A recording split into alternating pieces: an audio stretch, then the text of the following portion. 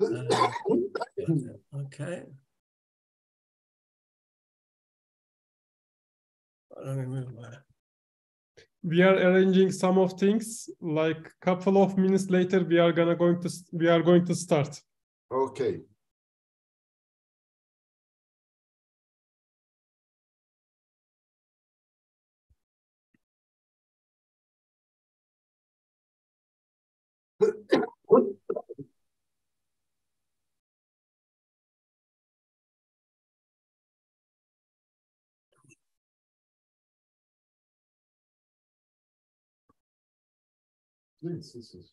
I see you still have your scarf on, Guido. Is it cold in Sicily? Uh, yeah, no, I am. I, I am taking paracetamol to, to, to join, you know. I'm I have a bit of flu, so maybe Okay. Mycoplasma bovis is no is no STI. Oh, yeah.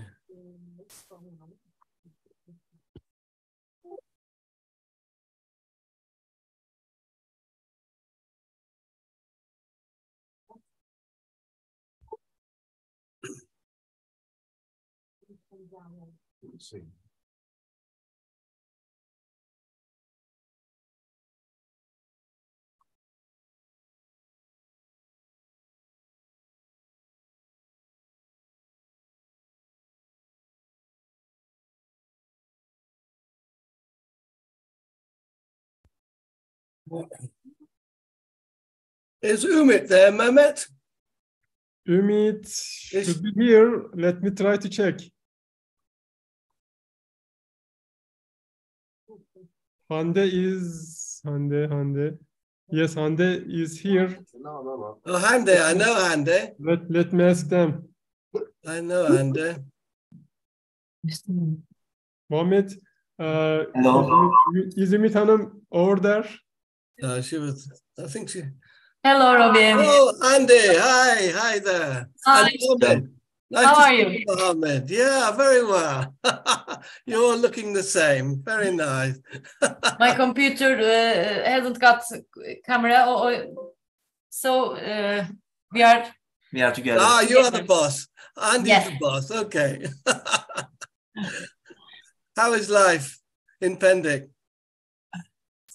Busy? It is good now. They are busy. I am Yeah. making their life busy. Yes.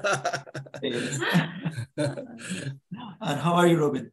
Yeah, very well. Of course, uh, life is a little slower for me nowadays. I, I, uh, I don't work in the lab as much, but uh, I do some lecturing and things. So uh, uh, I miss uh, Istanbul. I, I want to come back. Yes, We you- would be happy to host you. yeah, good. Okay. when it gets warmer. Yeah. Ciao, Uh, Yumit. Nice to meet you. Ciao. Nice to meet you. You both guys. Oh, Uh, nice to hi. meet you. I miss you so much. It's great to see you here. Yes. I'm going to. I think we are done. Uh, we can start if you are ready. Okay. F- Fatma Nur başlayabiliriz. Hocam sesim geliyor mu? Evet. Okay. Dear participants, welcome to our webinar. We organized this webinar to make more attention for Mycoplasma bovis infection in calves. Just keep in mind, we would happy to take any questions about presentation when you put in the chat box. I will ask those questions to each speaker, each speaker at the end of the speech. Today, we have two valuable invited speakers. Before start with them, I would like to give the opening speech to Dr. Mehmet Cemal Güzel to explain the importance of the webinar and Mycoplasma bovis infection in Turkey. Uh, thank you so much, Fatma. Let me try to share my presentation. It is very short presentation.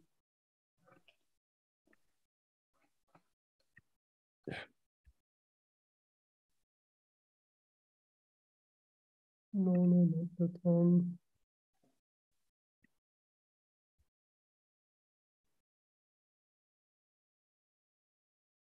Yeah. Uh, thank you so much for everyone and who are listening right now. And thank you so much for Robin and Guido for accepting and our invitation. Uh, I would like to give some information, Mycoplasma bovis, and why we are organized this meeting, why we are bringing these people together. And uh, let me start with my short presentation. Here, I would like to show you some pictures from my university on the right side. And also you can see some picture from my city where I live, named in Erzurum, and which is very, uh, very far away from Istanbul. This is because in eastern part, we have a mountain. You can see there is a winter holiday. Uh, I would be happy to host you all when you want to come here. So uh, I will give brief information about the mycoplasma infection because we have uh, undergraduate students, they are listening us. And here, uh, as we know, mycoplasma space making several, uh, several clinical signs in cattle, exactly not in cattle, also humans and some of animals making infection as we know that. Uh, that bacteria can isolate from pneumonia, mastitis, and arthritis. Also, they are etiologically related with the otitis, keratoconjunctivitis, synovitis, and reproductive disorders.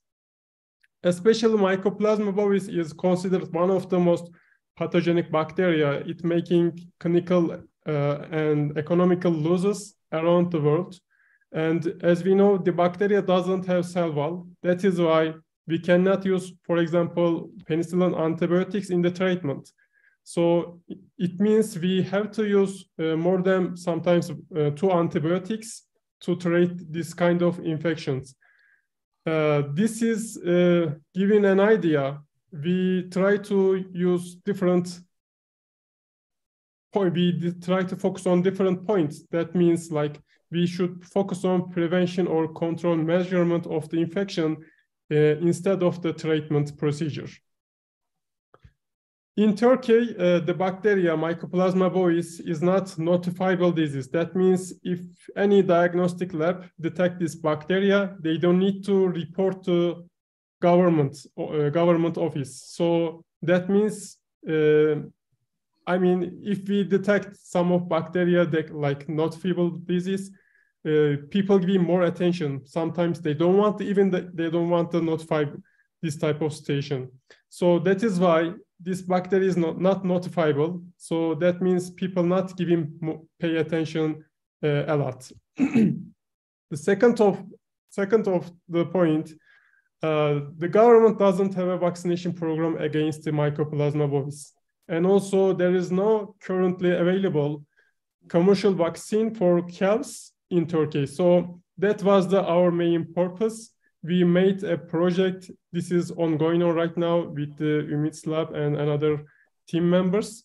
And that is why we are trying to make a vaccine for the uh, Mycoplasma bovis in cows. Here you can see last uh, confirmed case number in last five years.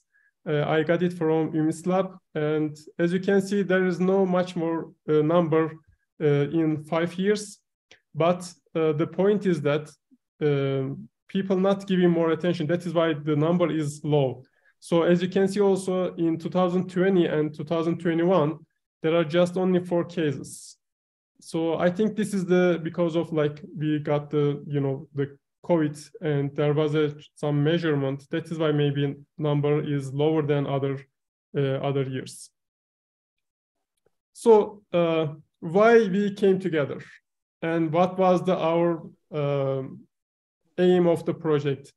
Uh, th I think there's a two answer of these questions. The first one is we there, like I said, there is no vaccine currently available in Turkey. Actually, there is a one-off, but this is only using in cattle mastitis cases.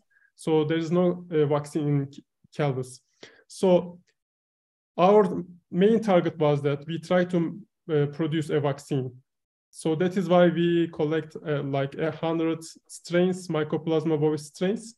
We try to first detect, first detect their uh, antimicrobial resistance genes, virulence genes, protein structure, and we try to detect their MLST type, some, something like that.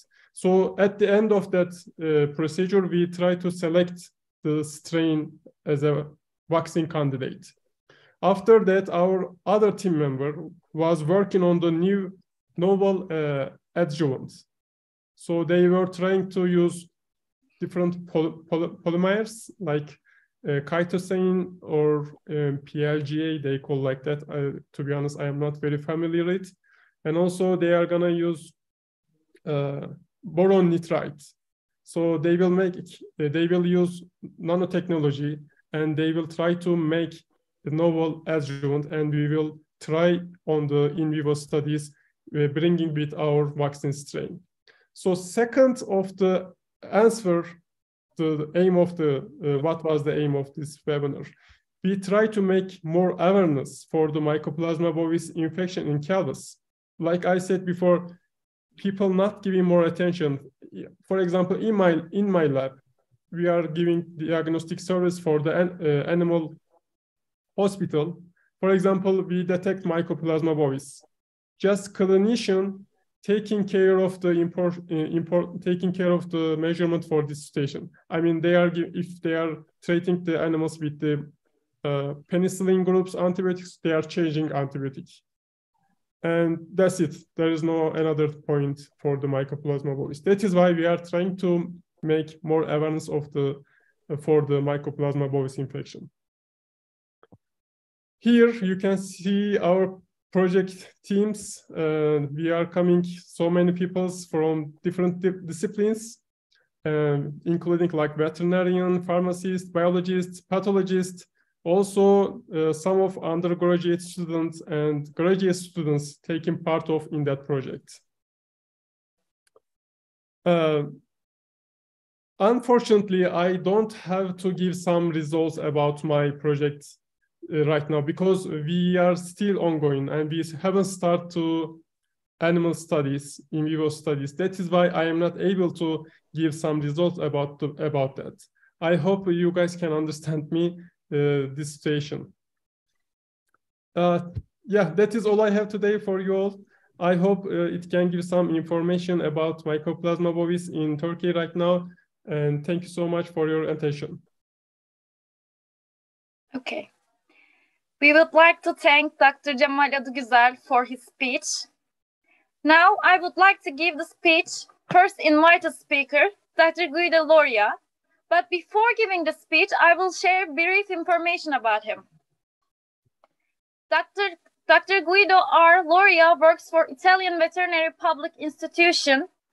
His activity, I'm sorry, his activities as director of special diagnostic area is mainly related to animal diseases diagnosis. With special reference to veterinary pathology, he also coordinates a WOAH reference for laboratory for contagious agalactia and cooperates as scientific advisor of WOAH and FAO Mediterranean Veterinary Network. His speech title is clinical and pathological findings in cattle infected with mycoplasma infection with special reference to mycoplasma bovis outbreaks in Italy. Dr. Guido, please, this is your turn. Thank you, Fatma Nur. Thank you for nice introduction. Uh, thank you, Mehmet. Thank you, the colleague of University of Veterinary Medicine. Thank you to the nice friends of uh, Pendik Institute uh, I hope to continue our collaboration. Thank you, Robin, for the pleasure to share with the Turkish colleague this uh, nice day of update. So, let me see how to go on. Excuse me, I try to move uh, my presentation.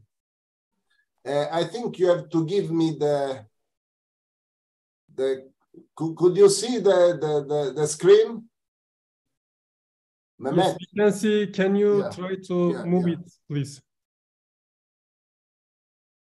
Just a minute, doesn't.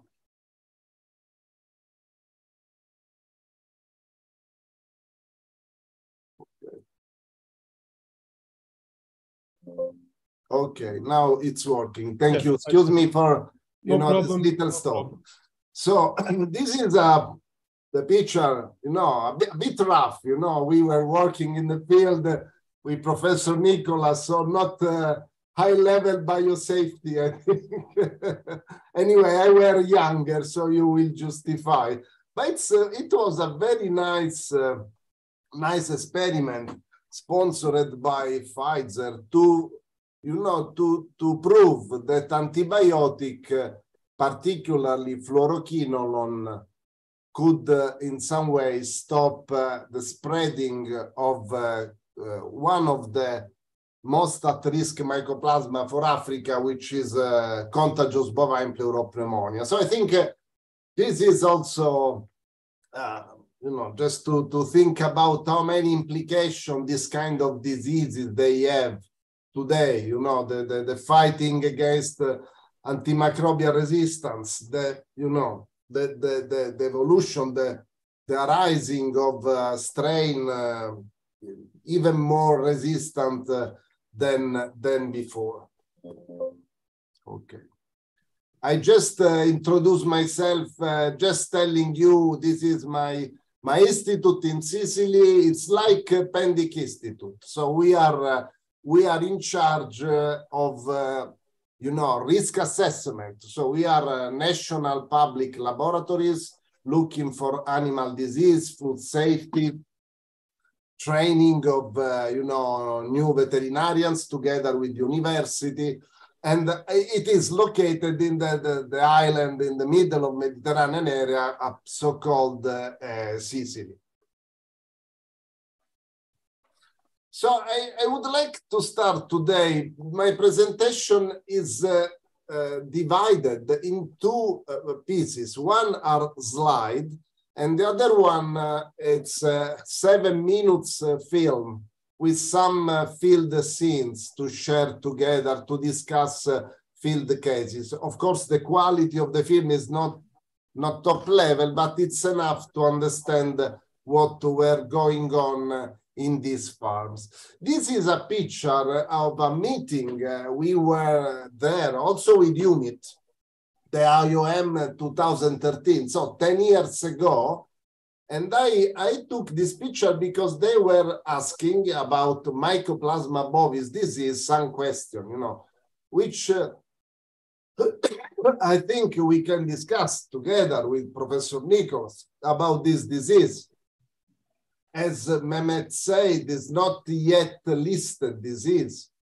Uh, so for, for some experts, it's very big uh, veterinary risk, for some other less. So we still have a lot to say about Mycoplasma bovis, and we will try to, to answer these questions, especially, you know, the last two. It's it, it, this pathogen needs co-infection to, to, to, to express the pathology, needs uh, stress factors. So this is very important, of course. So uh, cattle, bovine mycoplasma are many, you know, very many different strains. Some are, you know, like uh, bovoculi are related to keratoconjunctivitis, bovigenitalium may be reproductive disorder, uh, many others to, you know, respiratory syndrome, like also this par canadensis. But the most important dose, the ones I would like to discuss with you to, uh, today are, my, are the so-called respiratory mycoplasma mycoides small colony, and Mycoplasma bovis.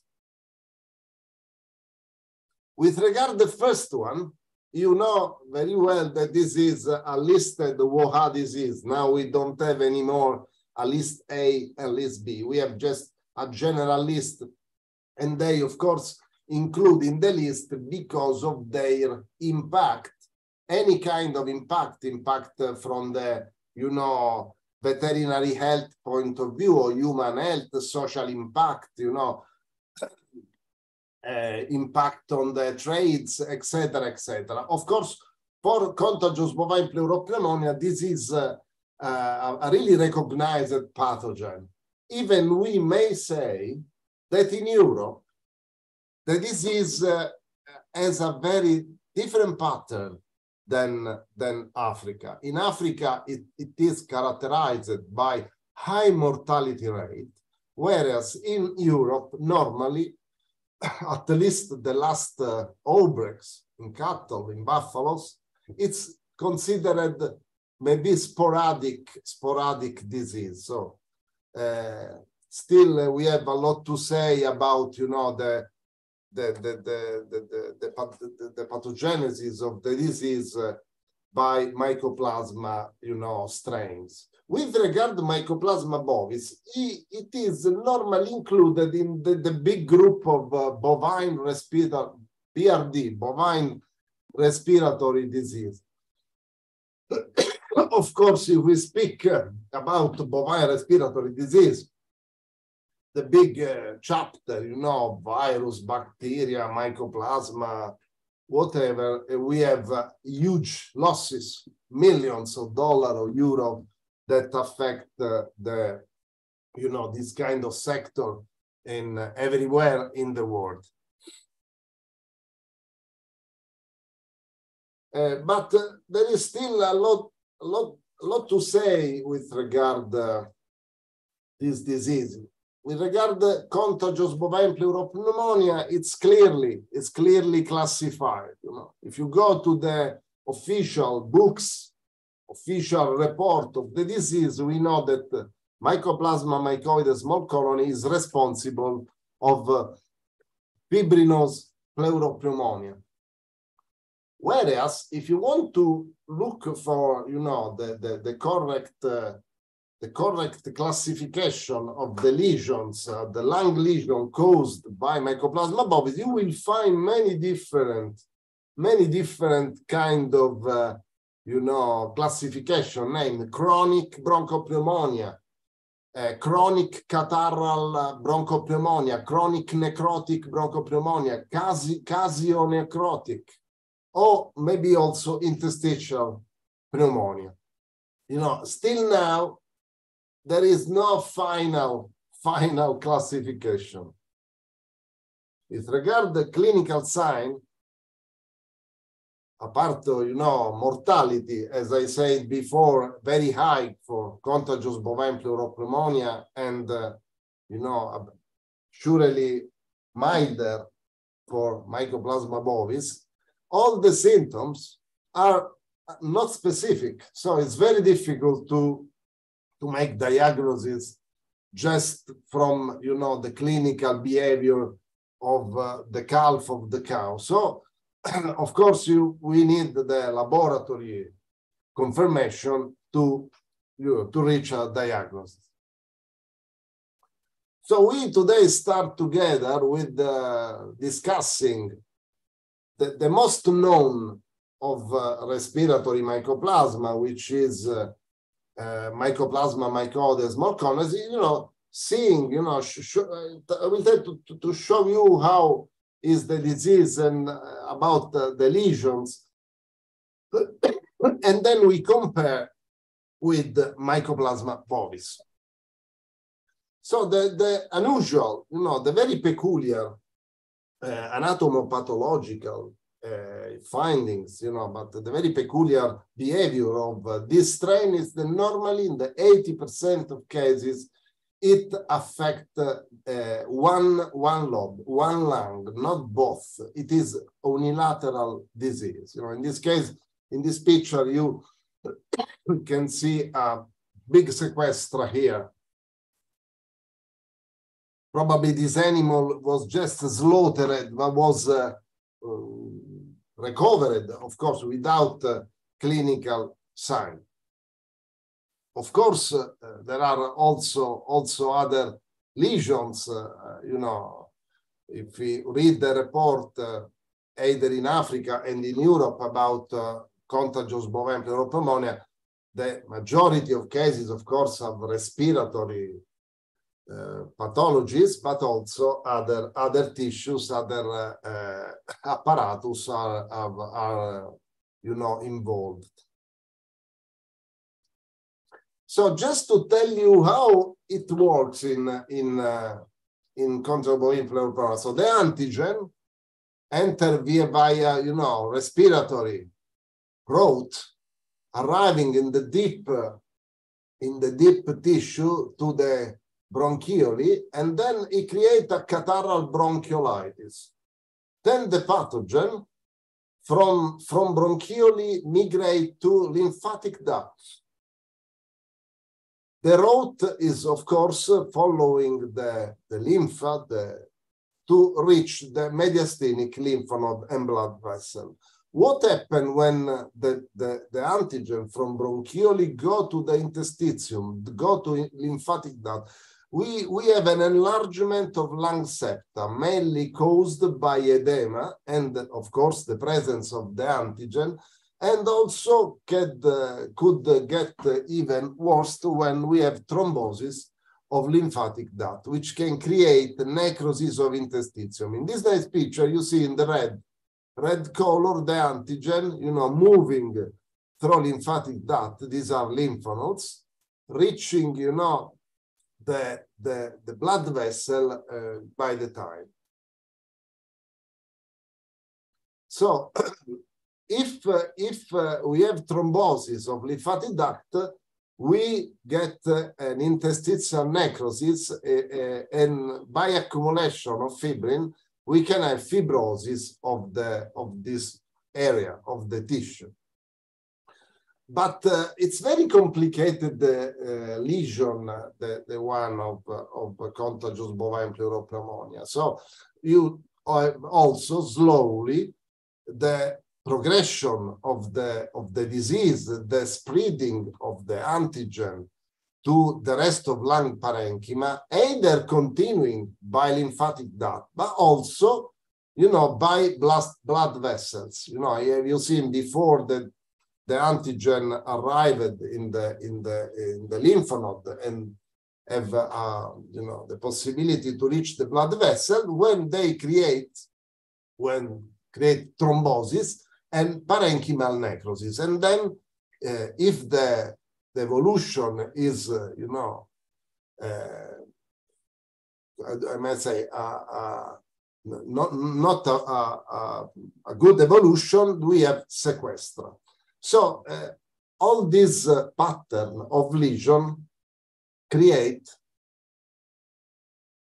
the so-called marble, marbled lung uh, so it means that in the same time, we have different degree of lesions caused by the, the, the spreading, the infection of the Mycoplasma mycoides to the lung tissue and to the interstitium.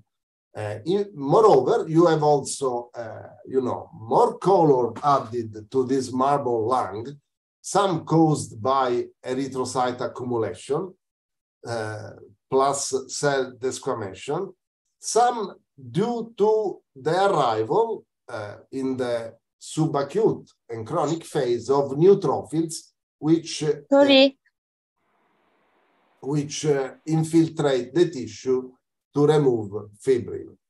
So uh, the, the organism, the lung, can react either by, you know, by the help of uh, white cells removing the, the, the, the, the pathogen, removing the, the, the, the diseased cells uh, with lysis and functional recovery, or, you know, uh, severe necrosis and sequestration.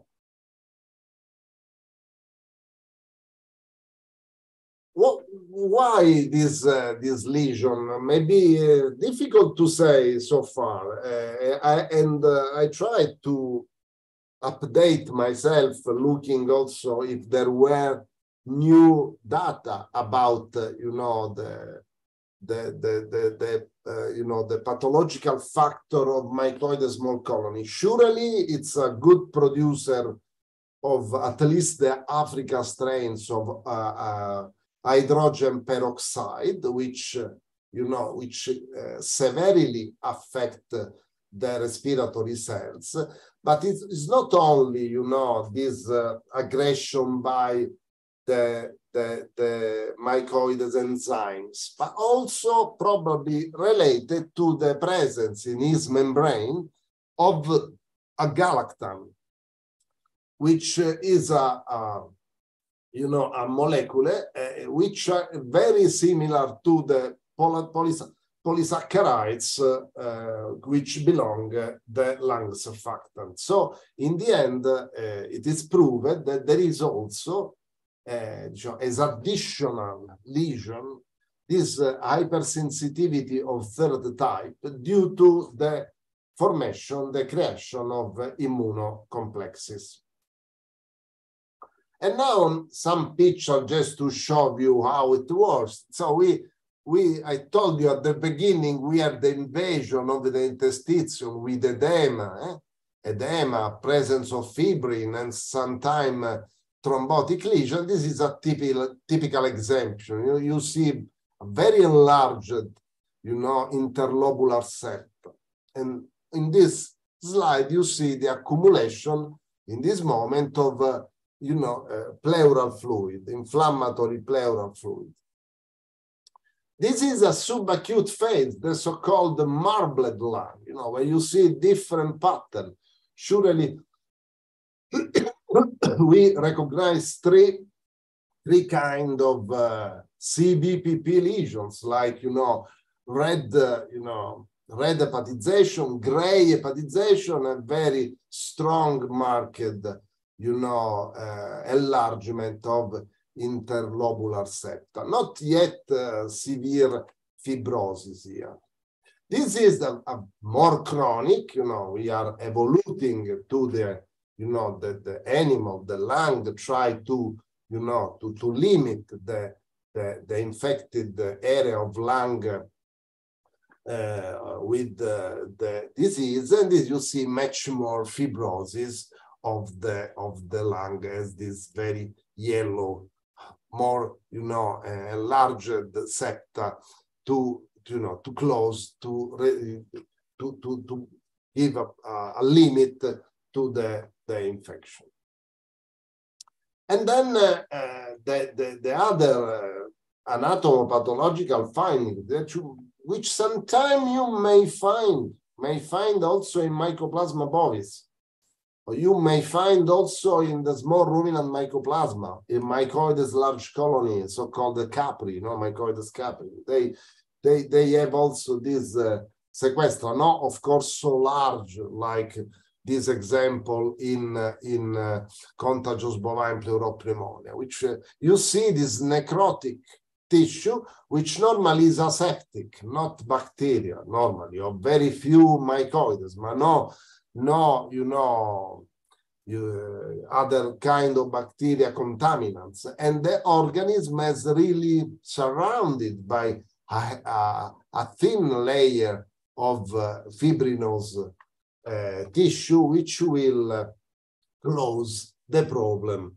uh, for a while, for a while. And these are, uh, you know, this is, uh, this picture could be linked with the first one I showed you, telling telling that, uh, you know, the Pfizer would prove that uh, subadministrating antibiotic, an effective antibiotic, maybe you could reduce the spreading of the disease. This is still an answer we can't really say yes or not, because too many, you know, of course, like in many diseases, too many different factors but uh, surely in the high percentage, we slaughtered not less than 100 animals, majority show this small sequestra. So it means these animals were clinically healthy, but uh, recovered after, or, uh, you know, a severe attack or, you know, even milder attack of the disease probably this animal, at least the Italian pathologists uh, were saying uh, this animal have a very strong coughing attack could break and cause a restart, a recrudescence of the disease. Uh, actually, I don't know, but uh, could be possible, of course. And then uh, also the, the, the fibrotic, you know, uh, response from the lung, from the organism can, can reduce the, the uh, you know, the, the problem, can limit the problem. Of course, this is an area of lung which will never be, you know, functional. Now some uh, some other slide to see. This is not a microscope slide. This is a stereo microscope, just to see the enlargement of uh, interstitium. And this is the, the most uh, I, I, I asked, uh, I, I just took from, uh, I has taken from this uh, very recent publication about, you know, histology or contagio bovine pleuropneumonia when summarize the most important lesion, you know, enlargement and thrombus, uh, thrombi inside the lymphatic vessels. Then uh, the pleura enlarged because it is covered by a thick fibrin layer. Or both bronchioles and deeply the alveoli, they contain massive presence of infiltration of uh, white cells, particularly neutrophils. And then also the lymphoid tissue, in this case, it's a sequestrum surrounded by fibrin. In this other case, we see vasculitis. So you see how many kind of lesion which attack the parenchyma, the vessels, the lymphatic duct. duct. That's why, you know, uh, pneumonia has this such a unique uh, pattern.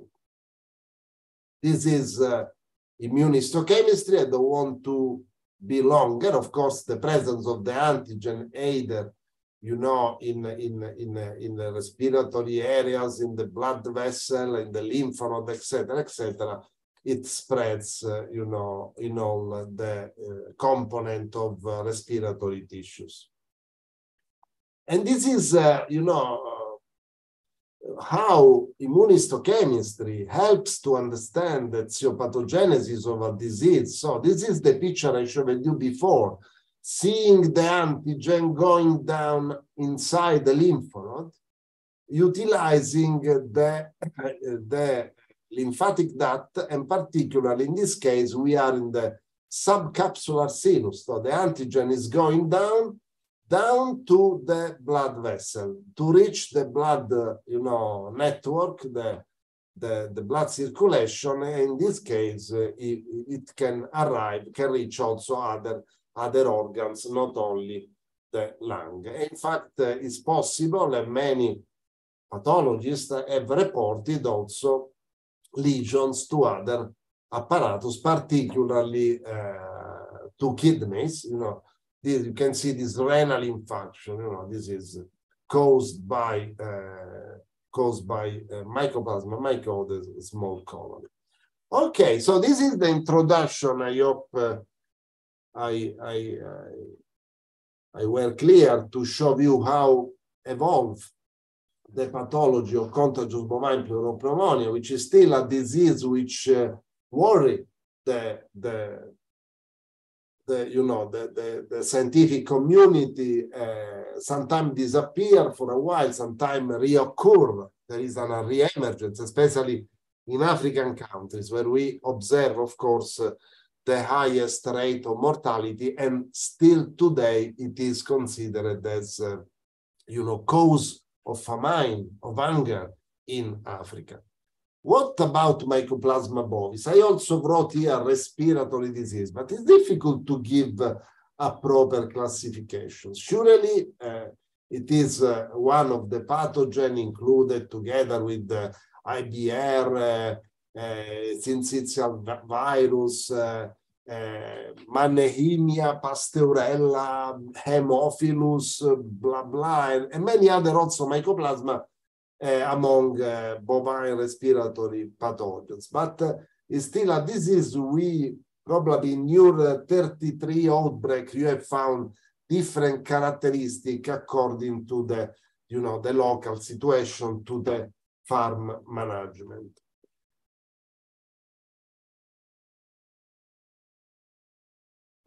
So far, uh, many So Mycoplasma bovis uh, has been isolated uh, from different lesions, very, very different lesions, uh, including otitis, meningitis, keratoconjunctivitis. but in reality, what it's more common observed, it's uh, respiratory syndrome and polyarthritis in calves, and uh, mastitis and genital disease in cow. Even I have to say, uh, even as we will see in my personal experience, even respiratory syndrome uh, probably not only linked to the presence of Mycoplasma bovis uh, is, uh, you know, is characteristic of the infection also in adult cattle. Uh, of course, when we uh, when, when, when we started to work in Italy to look for the pathogen, uh, with the, after my experience in the laboratory of Robin Nicholas, which I have to thank to introduce me to mycoplasma infection, mycoplasma pathology, we started to look for the disease in Italy. Uh, also because there were rumors that in some uh, particular kind of uh, production of livestock production, calves production, in Italy, in the north, we are used to produce uh, a calf called the white meat calf. So these animals are kept like poultry, are kept uh, indoor in a very close environment. And uh, normally uh, with uh, you know pretty high uh, presence of of animals so there is not too much space. They are concentrated in small in small barn in small pen. So in this kind of kind of, uh, of production of breeding animal it's uh, there were already the evidence of uh, mycoplasma isolation, mycoplasma isolation. But when I started to look for the disease in Italy, of course, I found that this is very different from uh, contagious bovine pleuropneumonia, was much more related to, you know, the respiratory lobe with cranioventral progression, whereas, you know, mycoid small colony goes to diaphragmatic lobe, it's monolateral no such a huge enlargement of interlobular septa like uh, CBPP, not always involvement of pleura, and uh, necrotic foci allobular diffusion. Well, okay, so probably because each strain, each species of mycoplasma has its own, you know, factors to, to create uh, disease.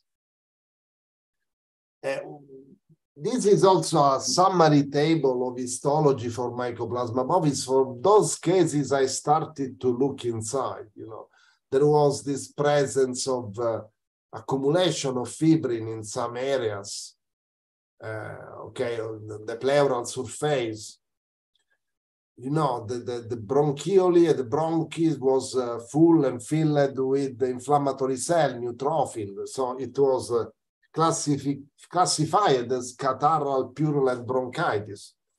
I remember also this uh, triangular, very uh, unusual shape of necrotic area surrounded by inflammatory cell and of course fibrin which is coming to to you know to uh, close the, the, the infection. And what is characteristic of mycoplasma bovis the the presence of very marked and visible lymphatic uh, areas, lymph lymphoid areas, lymphatic tissue, which is called BALT, appunto, hyperplasia of this lymphoid tissue, which is bronchio-associated associated lymphatic tissue. I uh, still remember when with Robin and Professor Scanziani, a good pathologist from Italy, finally, thanks to the fact we could uh, uh, have a good antibody reacting uh, in immunohistochemistry against Mycoplasma bovis, we could prove that when there were lesions, in this case it's necrosis, there is the pathogen in absence of uh, virus, in absence of Mannheimia, Pasteurella, etc. So it is uh, in some way one more proof that uh, Mycoplasma bovis is a bad boy, is a aggressive uh, uh, pathogen. And now some more data. By the time that was the period I really enjoyed because we, I started from Sicily, but also the other regions started to investigate. And they found that Mycoplasma bovis is the most frequent bacterial respiratory pathogen in the, you know, in their kind of uh, sector, in uh, veal cows, in the meat producing cows. Uh, I found a high percentage, around 27%, also the colleague 11, you know, 67%. So very high, you know, uh, high prevalence of the infection in, in Italy. And then uh, the colleague, uh, we, we, we organized the project, uh, you know, looking for, uh, again, what were going inside the livestock, uh, the, the, inside the farms, Italian farms. 140 meat cattle were selected just to see what's were going on. Some with uh, clinical uh, disease, some, uh, or, at least not clinical disease, but with lesions, lesions found at the abattoir. 70 were adult and 70 were cows. At the beginning, from this animal, uh, the, the, there was a blood, blood sampling, and we found that 100% of calves, 70 out of 70 were positive, whereas cattle, adult cattle, much less. By ELISA, eh? this is a, a, a commercial kit, very easy to, to find. But what was interesting, you know, Mehmet, you are microbiology guy, uh, that we uh, couldn't found couldn't find couldn't find you know the the my, mycoplasma bovis in the lung of uh, lung and lymph nodes of adult cattle. But we found in excuse me for Italian in calves. In calves there were 17% positive. Among that 5.7% with co-infection with other bacteria. So the, the, the previous slide could say that also the adult cattle, of course, got in contact with Mycoplasma bovis, but uh, once probably they were adult, mature, also the immune system were mature, not, not more problem of circulation of the pathogen, but still maintaining high level of antibodies. So in, in those animals, in the you know, in those that have uh, pathology of this group in the calves, of course, we have found two different kind of uh, pattern of uh, anatomo uh, histopathological pattern. The first one, uh, which uh, uh, concerned seven cases, was a severe necrotic suppurative bronchopneumonia uh, with the high presence of Mycoplasma bovis, like you see in this uh, picture. You know, this is uh, immunohistochemistry. The brown, it's Mycoplasma bovis on the border of the lesion. This is necrosis, this gray area, behind a lot of cell, neutrophils, plasma cells, macrophages, etc., etc., to try to, to, to limit the problem. So this is very severe you know, uh, lesion. The other one, pattern number two, was a milder lesion uh, showing interstitial pneumonia and catarrhal pneumonia without necrotic suppurative aspect, without the most uh, severe aspect of uh, mycoplasma aggression. And also very few, look the immunohistochemistry, very few mycoplasma, not a lot like the picture before. even there is there is a good, uh, you know, reaction, you know, around. These are okay. So what uh, what was happening? How we could interpret these two different behavior of the disease? We which could also justify maybe why in some areas Mycoplasma bovis kills cattle in other areas is not just an evidence of the abattoir. Probably one, one of the answers, we don't know if all the answers, because uh, of this factor, which is, of course, uh, uh, individual factor of the animal, the expression of uh, second-class measure histocompatibly complex. This factor is the one which helps, you know, you know, found in the C, in the CD4 T cells lymphocyte, which show, which take the antigen to the phagocyte.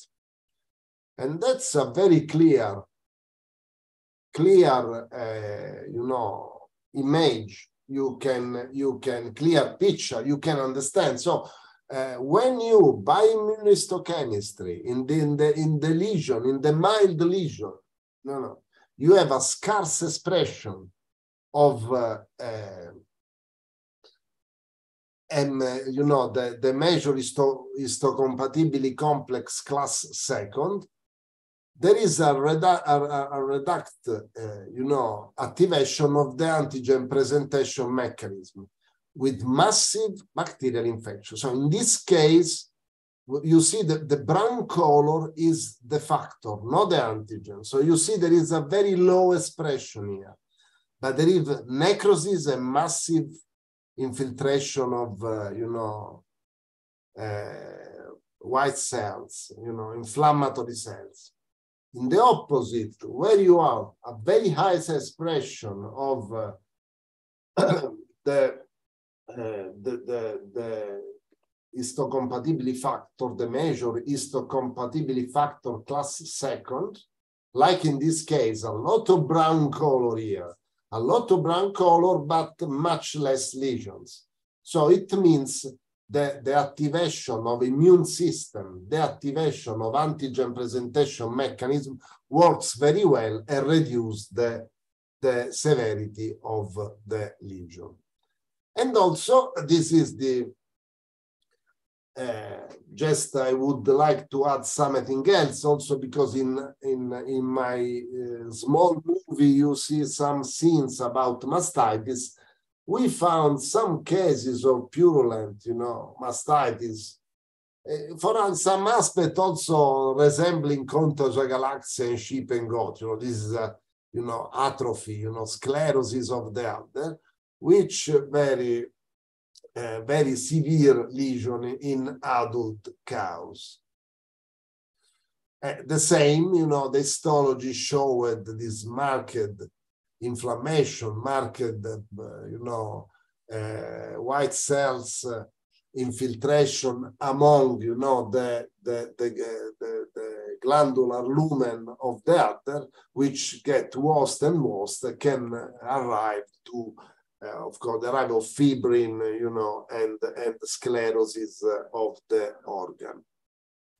And now I just introduce you what we will see in, uh, in the short film I will show you. Uh, there are three different farms.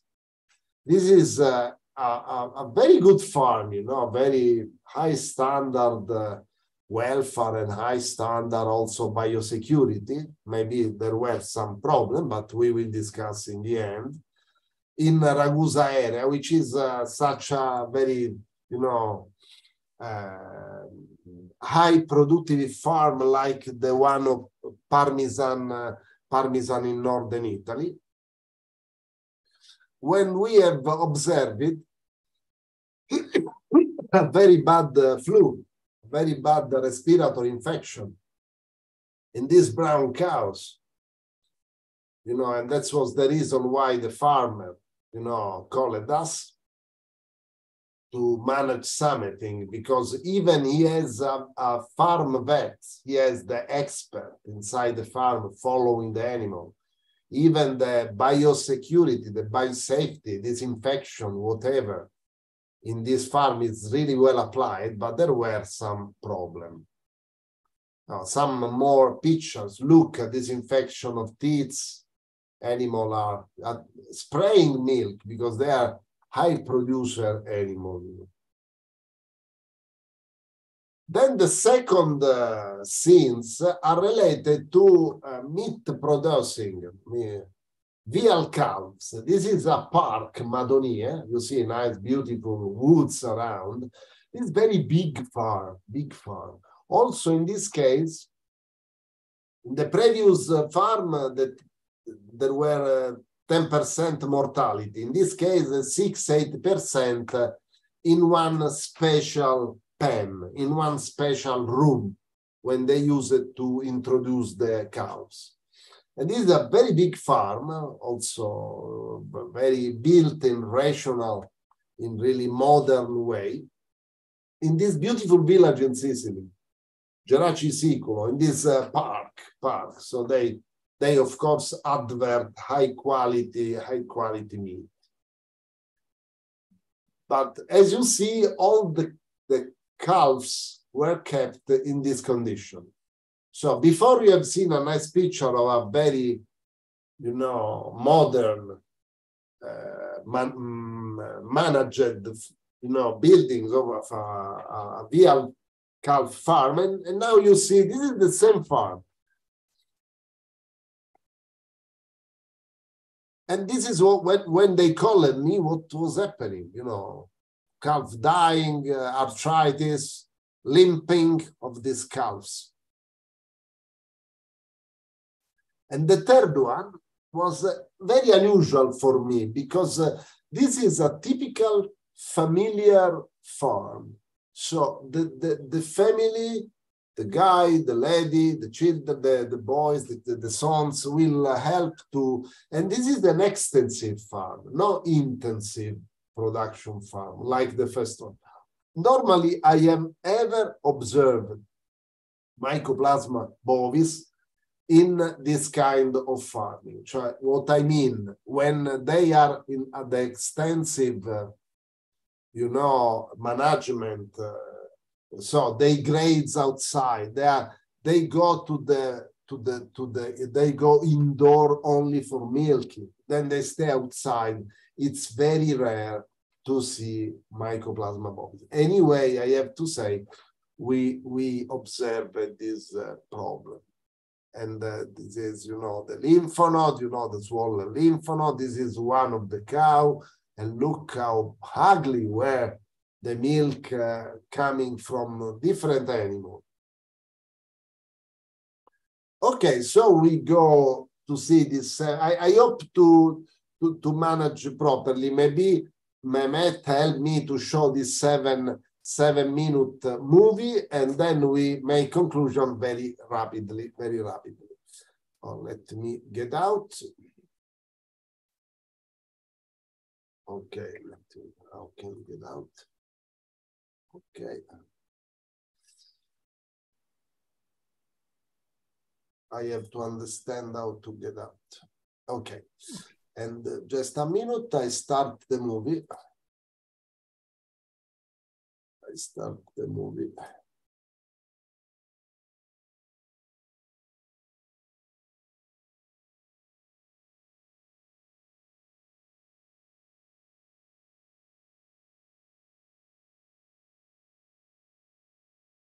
Uh, could you see the, the film? Uh, not yet. You need to, I guess, share one more time. Okay. Like okay. You shared your presentation, right? It will I be don't know why it doesn't allow me to do it. Uh, I already gave permission. Grazie. Okay, good. Eh, technology is not my best uh,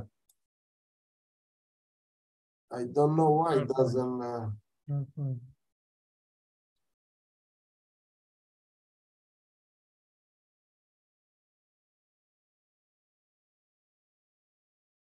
I try to, I close the other, I close the other presentation maybe, and I start the, and then we, I reopen again, okay. Let's, uh, okay.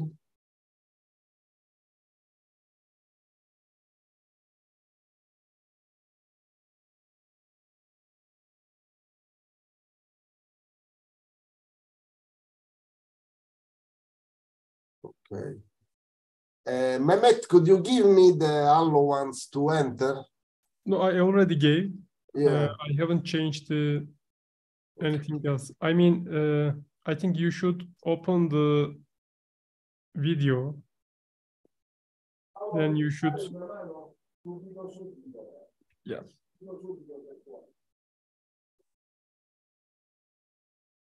I, I call it the Okay. a very good digital colleague. Maybe he helps me because I like to show you that this. Uh, right. sono in Zoom. Mm. I am in Zoom, but uh, they don't see the movie. Non si vede No, no, no, non si vede.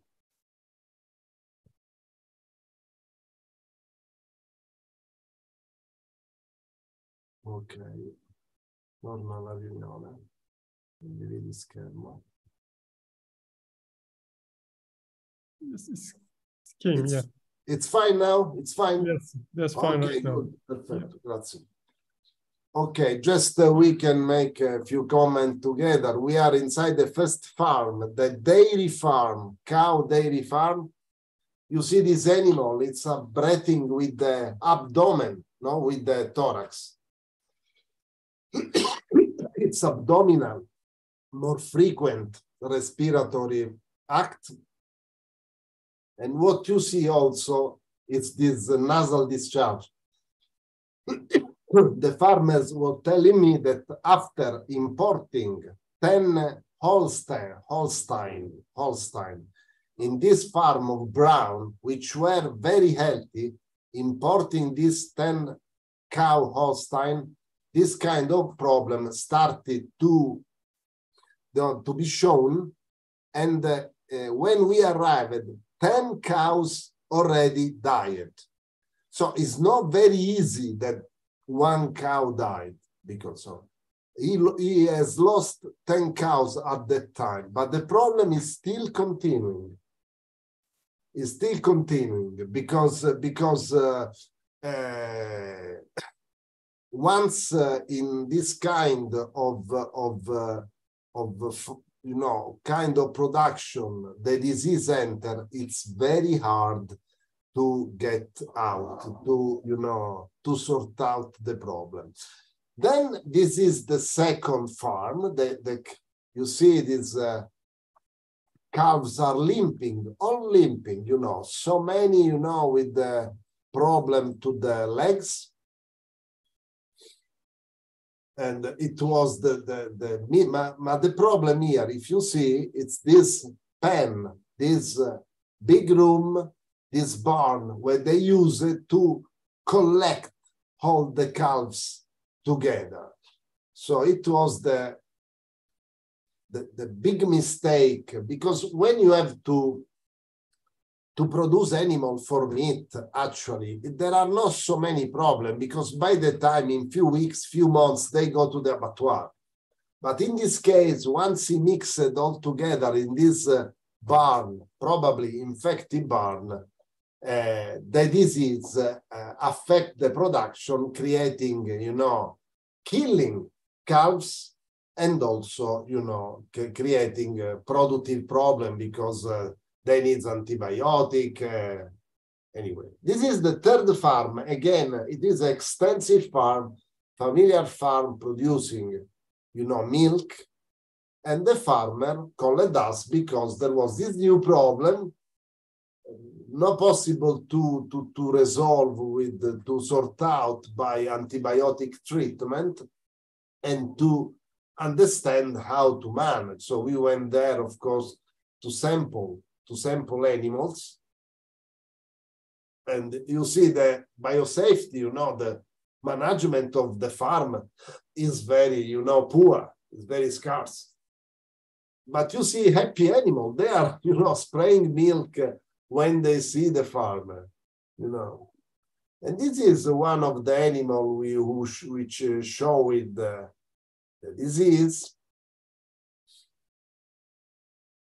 It's, uh, it's uh, you know, there was a, he lost weight, of course, and also uh, the, the very big uh, swelling, very uh, important swelling of the supramammary lymph nodes. Maybe we can see here very clear, you know.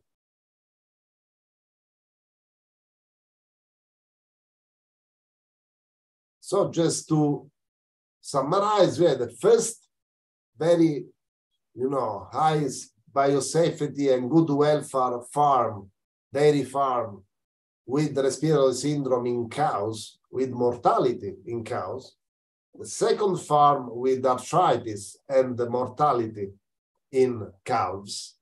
And this third farm with uh, mastitis, severe mastitis,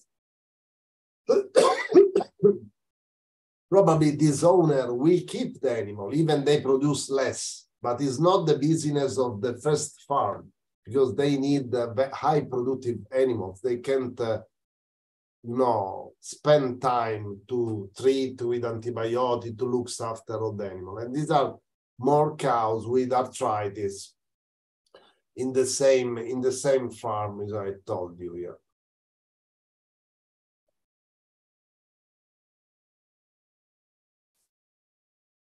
Of course, all of them tried with antibiotic, of course, starting from oxytetracycline, higher dosage, and uh, you know, then fluoroquinolone, Baytril, uh, you know, many, many, uh, many efforts, many, many, uh, many, many ways to stop the, the disease, but uh, was not possible. And uh, just to anticipate you that the, a, a good, uh, a good tool in the end was the production of uh, uh, autologous vaccine. So we isolated the strain and we gave uh, farm vaccine, so inactivated vaccine uh, to those uh, those farmers, and it helped. It helped a lot from the clinical point of view, but it's very difficult to say so far if they are now, if uh, Mycoplasma bovis is still uh, circulating, is still creating problem, or they completely get get off, get out of uh, of the problem. You see some of these animals were producing drops, drop of uh, of uh, of milk or purulent exudate. Look here, it was a very disaster for the farmer. Okay.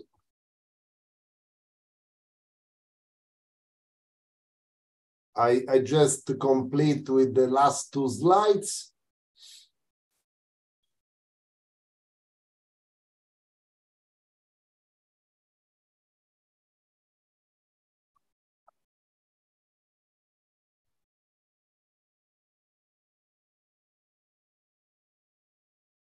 Fatma?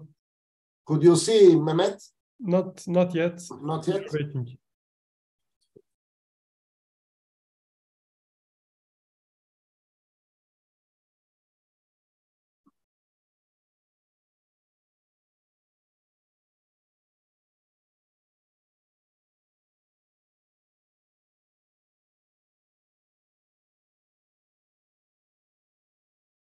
Okay.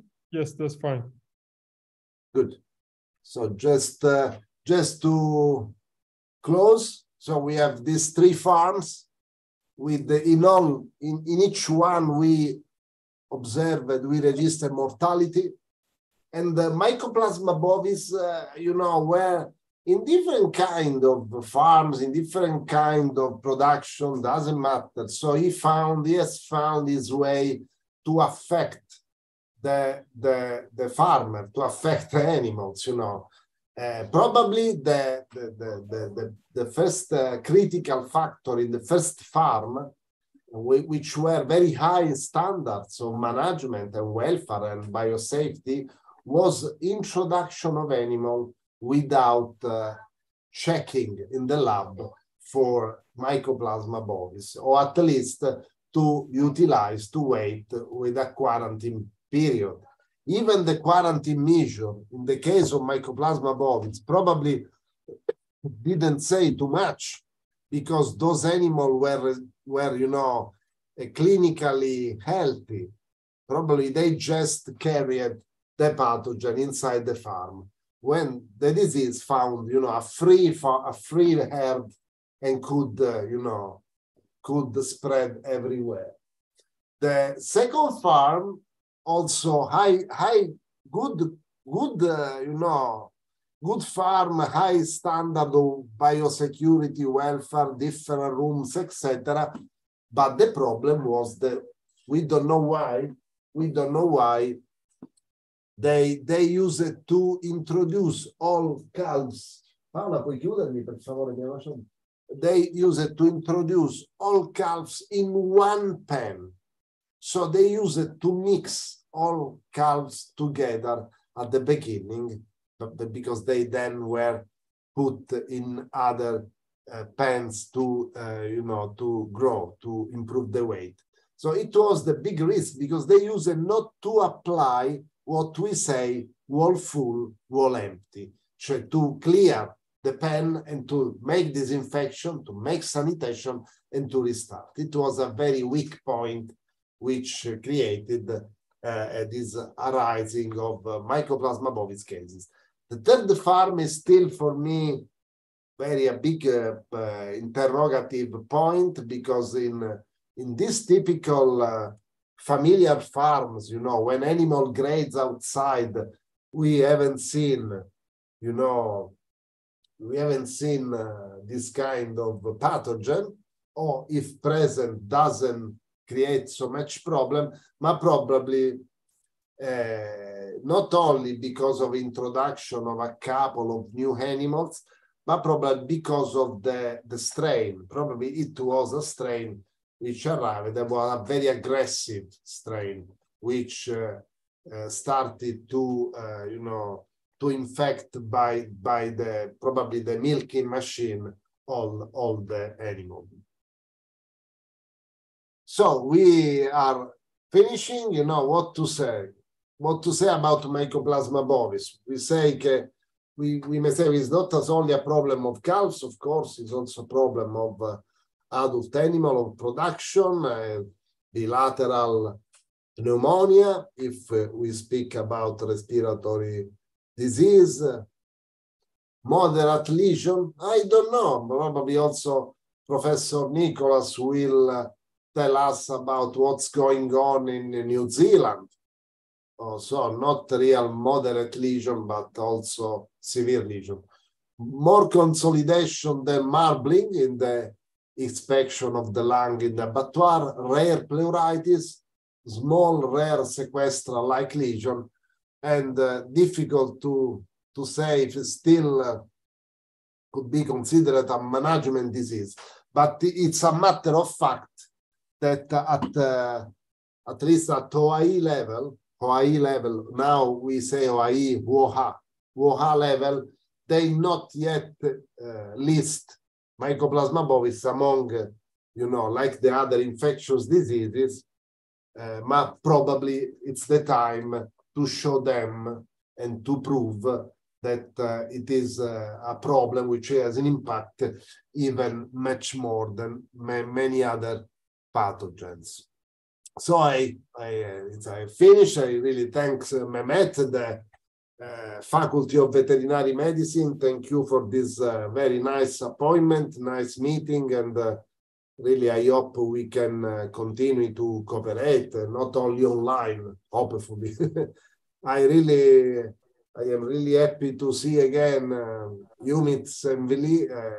really, I, I regard her for what uh, she has done in the field of mycoplasma disease of animal, uh, either uh, small ruminant, poultry. Congratulations for such a good work done. Also, vaccine production, it's very very well known uh, among us which uh, work in mycoplasma. All my colleagues, my institute, uh, Professor Nicholas Robin, good friend and good scientist, and the group of University of Milan. Thank you to everybody. Thanks a lot. Okay. We would like to thank Dr. Guido for his valuable speech. Is there any question to Dr. Guido? If there's any question, please put in the chat box. I will ask him. Uh, I would ask a question. So you showed us a video, right? Um, and also your presentation was very informative to us. Uh, I really thank you for it. So it, you mentioned in the video, even if we are using high dosage of antibiotics, so we are not able to treat the animals, right? Uh, after the you prepared autogenous vaccine, then you solve the problem. So I am asking this question because we have um, DVM candidates, they are listening to us. It will give some information for them because uh, they some of them will be like clinician and they will try to treat animals like this type of infection and they will not give they will not get success so that is why i'm asking that question so in that situation why vaccine is more important than um, antibiotic treatments So thank you, Mehmet. I I have the opportunity with your good question to questions to to say two different, you know, different concepts. The first one, uh, in the in the first farm, the one they you consider these people not only milk animals which produce uh, 25 liters, something like that, of milk every day, but they give uh, oxytocin to improve to each animal every you know day to during milking uh, procedure.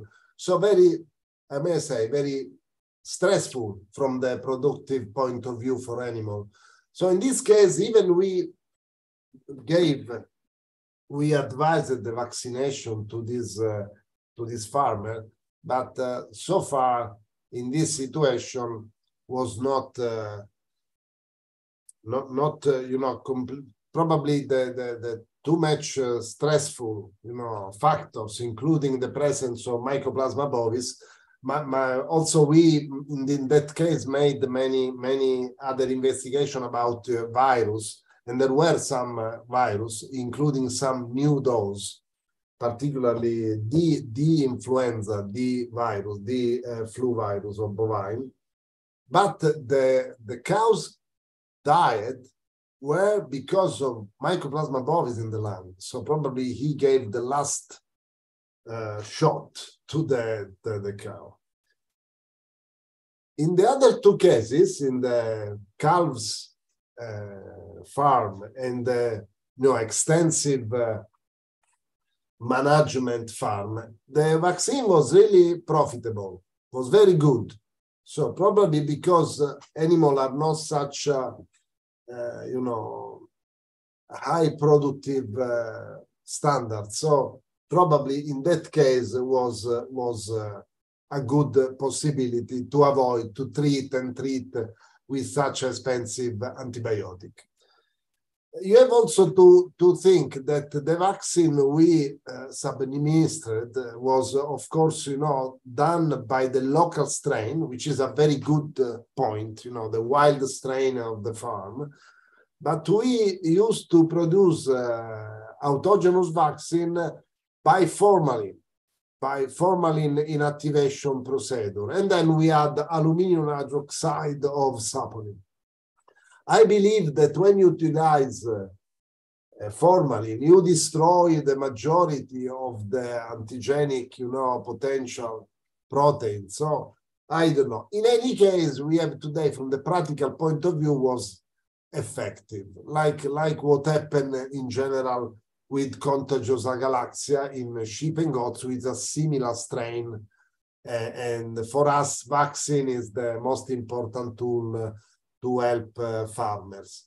but uh, a very you know high produ- productive standards I, it's difficult to to give an answer or to act like uh, in Canada or New Zealand uh, some farmers prefer they cull they eliminate the positive value Thanks so much. Okay, uh, I think uh, Dr. Nicholas have uh, a question for Dr. Guido. We we cannot hear you, Dr. Nicholas. Can you hear me now? Can you hear Yes, me? we can Yes, we can hear you now. Oh, Okay, I've taken my uh, headphones out. Um, yeah, it's really a point about the notifiable uh, disease aspect. Um, when I raised this uh, many years ago to the OIE, uh, they said um, that Mycoplasma bovis was too widespread, too widespread to be considered a notifiable disease. Because now it's present in just about every country in the world, um, it really wouldn't be practical at, at all to make it notifiable. Um, so I think it's it's very unlikely to be made notifiable, sadly, uh, in the OIE. Do, do you agree, Guido? Or? Yeah, so uh, I, I have followed the approach of European, you know, of European uh, community because you know I worked a bit on regulations. So, for instance, we have another strange disease, you know, of of of bees. But just to make you an example, uh, and, and the European community classified the varroa, varroasis, which is a tick of bees, you know. Because they say, uh, the, the experts were saying, listen, against this parasite, it's not possible to do anything. You can't stop in the border bees. Bees go wherever they like, bees move. So, no, not possible to, to make a regulation with uh, regulate the movement of uh, bee houses around because in any case they move by themselves this is true but the european commission say no we need to list because in this way we will make research. We will look for new tools to you know uh, to stop the infection. New drug new you know uh, management tools to uh, you know to to combat the, the disease. In some way i agree. So i think mycoplasma bovis now in some nation it's a disaster. So it's time to do something. If uh, you leave the, the the the situation on the you know look at local level probably there is no no way to stop this uh, this pathogen, which has two, I believe, characteristic. Robin, you will say better than me. One is the natural resistance to antibiotic, first one, and second one is natural capability to modify its genetic characteristics. So at the moment, we have some areas where Bovis is uh, very calm, others were creating a disaster. So I think we must make more surveillance and more research on control. Okay.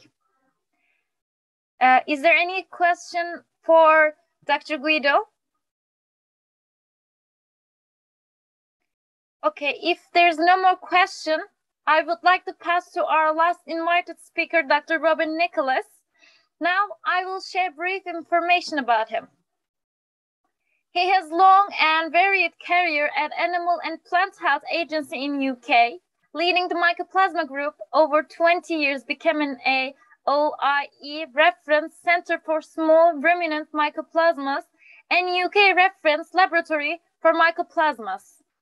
He has traveled widely around Mediterranean, in particular Turkey, Portugal, and Italy, and concluded technical missions to sub-Saharan Africa and the Middle East to advise on ruminant mycoplasma diseases. He has written five books, including Mycoplasma Protocol in 1998 and Mycoplasma Disease of Ruminants in 2008 and over 300 peer-reviewed papers and articles in the field for which he was elected fellow of in the Royal College of Pathologists and awarded a visiting professorship in life science by Kingston University in 2010. Today, while he is semi-retired, he lectured at universities and provide consultancy on uh, mycoplasmosis to several Italian institutes. And he is the government's oh, sorry, he is a member of international commission, including advising the New Zealand government on the eradication of Mycoplasma bovis. Also, he's he's quite good cook specialist in Asian and Middle Eastern food. His speech title is The Search for Effective Vaccine Against Respiratory Infection Caused by Mycoplasma bovis. Please, Dr. Robin, this is your turn. Okay, let me uh, share the screen. Oh, okay, that's easy. Okay, I uh, hope you can all hear me. Um, again, thank you, Mehmet, for the invitation. Uh, it's a shame that the meeting uh, wasn't in Istanbul instead. We have a lot to blame COVID for. I would love to be back there. Um, yeah, today I'm going to talk about bovis, Mycoplasma bovis. It wasn't my, um, you know, my first uh, mycoplasma to, to study. Um, I was heavily involved uh, with the CBPP outbreaks in the early 90s when uh, CBPP unexpectedly uh, came back uh, to Europe after 20 years. And I think, you know, the uh, material that Guido uh, delivered in his lecture, I think is, is still very relevant because CBPP uh, it's only been um, eradicated from Europe or disappeared from Europe uh, in the last 20 years, really. Uh, so it could well be hiding in very small uh, herds uh, wherever, you know, maybe even in Eastern Turkey. I know certainly um, many years ago uh, there was a survey carried out, a serological survey uh, for CBPP, and uh, there was no evidence, of course, of, of CBPP. But I think uh, the disease, CBPP, is a disease of uh, broken veterinary services, of wars, of uh, earthquakes, very, very sadly. Um, you know, when veterinary services break down, then CBPP can, can reappear. So I think I thank Guido for reminding me of what CBPP looks like. And, you know, for many of the participants of this uh, uh, um, of this seminar. Um, I also worked with Contagious Agalactia following a chance meeting with Guido in, in Sardinia and became very interested in, in the disease. And uh, we became a OIE reference center for, for um, Contagious Agalactia, despite the fact that we hadn't had it up until very, very recently, uh, probably a few years ago, someone brought in some pet goats, which were infected with uh, agalactia. So the experience I had with Guido was, was, was very, very helpful. um, contagious caprine pleuropneumonia is the other major um, disease um, OIE listed disease. And again, I, I thank Ümit for the fantastic opportunities we had of looking for the disease in Thrace after unexpected uh, serious outbreaks of, uh, of a pleuropneumonia in, in, goats in Thrace. And uh, we had a lot of fun, I think, and a lot of, um, certainly a lot of activity relating to CCPP. Um, and I'm very, very grateful for that. well, after all these exotic diseases, um, I started looking around the UK to wonder, you know, does Britain have um, um, important mycoplasma problems? And uh, yes, we did, um, although it was not very well uh, thought of. People thought of the, the viruses, the, the bacteria that, that were causing respiratory disease, but no one was really looking at Mycoplasma bovis. So uh, it was a great opportunity for me to get that down um, deep, deep and dirty, as we say, uh, in the farms around Britain, looking for Mycoplasma bovis. And of course, we found it, and uh, just about every other country in the world has it. And I think you know people are finally uh, becoming aware of the importance of this disease. Um, certainly, there's a lot more publications uh, produced um, on the subject of, of Mycoplasma bovis. There were conferences held in Canada. Um, it certainly is a, a, problem in, in North America and, and many other countries. Um, so really what I want to do in this in this talk is um, give some idea of the disease. And I apologize for any duplication uh, that will uh, arise. Um, um, yes, you know, it, it's inevitable that I'll be repeating some of the things that Guido said, but perhaps in a, a slightly different way.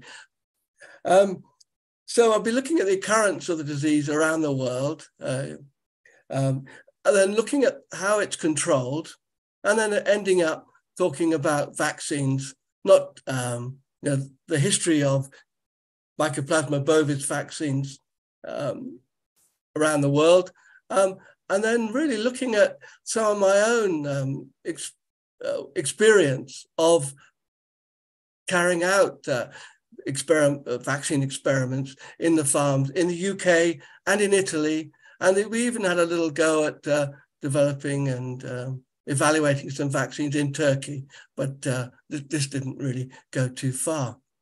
Um, so, um, right, what am I going to do? Yep, let's have a let's have a have a look at um, some of the things here. Um, the problem with Mycoplasma bovis, unlike CBPP, for example, is that um, the calf pneumonia complex is very multifactorial. There are many organisms involved um, and different balances you'll um, find. Sorry, sorry for I'm I'm doing this, but do you have any slide or some kind of uh, visual things for the speech? Uh, yeah. we, we can we cannot see it. We cannot see it. Ah, right. Sorry for that. Sorry for I'm. Oh, okay. Um, right. Um, let's have a look. Thank you. Right, let me see. Right, share screen. Okay. Yes, correct. Then choose the presentation and Is that okay? Yeah, that's great. Yes, thank you, thank you. Oh, thanks for reminding me. I was talking to the screen. okay, right. So you've not missed anything. Um, let me just show you. Yeah, that was my original um, uh, screen. Okay. Um, so, so we're here now, and I'm saying, basically, I'm saying um, that the disease is very, very complex. Um, oh, it's good I can see you, so at least I know I'm not talking to uh, to the wall here. So, mycoplasma, uh, the uh, calf pneumonia complex is is multifactorial. Um, many uh, viruses, bacteria, and of course uh, mycoplasmas all contribute to this, which is why it's such a major challenge because every farm will contain different levels of these particular organisms. And it's fairly rare that uh, you get pure infections of Mycoplasma bovis on a farm. And you know that would be helpful, unlike, as I said, Mycoplasma mycoides, where primary uh, infections are, are, the, are the rule, if you like. So let's have a look at some of the um, bacteria, uh, other microorganisms that contribute to the uh, um, the, the, the uh, pneumonia complex. Mannheimia, of course, the, the bacteria, the Histophilus, viruses, BVD, uh, PI3, IBR, can all be found in different levels on different farms.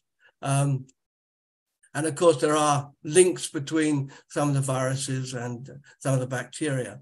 But the mycoplasmas that we really are going to talk about are the Mycoplasma bovis, but we shouldn't forget Mycoplasma dispar, which is a, an increasingly um, isolated mycoplasma. The main problem is this one is quite difficult to detect. Um, so may be why it's not picked up in, in routine um, um, in routine diagnosis. Mycoplasma canis um, has sort of raised its head every now and again. Again, it's quite easy to grow, so I think if it was there, you'd you'd find it. So uh, again, keep an eye out for Mycoplasma canis because we've certainly isolated it from pneumonic herds. Now, we think the bacteria are really not that important. They really uh, sort of reinforce or, or, sort of um, that they're present in the nasal mucosa um, in fairly normal, um, in, in, in healthy cattle. And it's really only when the immune system is disrupted uh, by the presence of a virus or mycoplasma that you'll see uh, these bacteria. And as you say, as it says here, they contribute to the final progression to severe pneumonia. But they themselves, on their own, are really not a great problem. I think the problem over the years has been that there have been experts around the world who've, ch- who've championed, if you like, different viruses. You know, we have people in the UK, BVD specialists, PI3 specialists, IBR, and I think they've tended to uh, to, to sort of downgrade mycoplasmas, um, mainly because you know they uh, it's not a particular interest of theirs. But I think we've developed sufficient um, I think we've developed sufficient uh, uh, progress to show that mycoplasmas really are are there and, and should be studied, as is happening in eastern Turkey there with, with Mehmet. You know, um, people are becoming aware of their importance.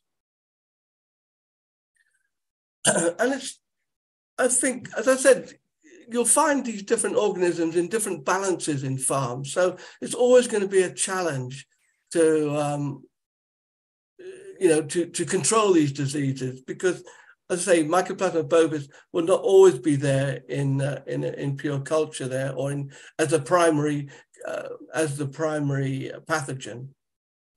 But it's been uh, shown fairly well now that those herds which are, are suffering a low grade pneumonia, perhaps caused by uh, some bacteria and, and viruses, uh, you'll see a greatly increased um, uh, disease as a result of the introduction of Mycoplasma bovis to those, uh, those farms. And you'll see increased morbidity and mortality as a result of uh, Mycoplasma bovis.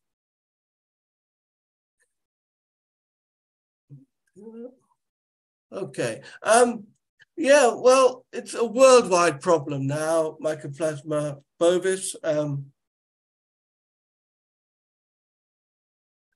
present in all cattle rearing countries.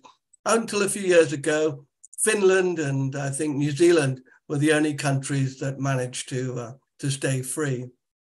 But as you can see, it's a, as Guido, again, I apologize for the duplication, but um, um, this is the list of diseases that Mycoplasma bovis is associated with.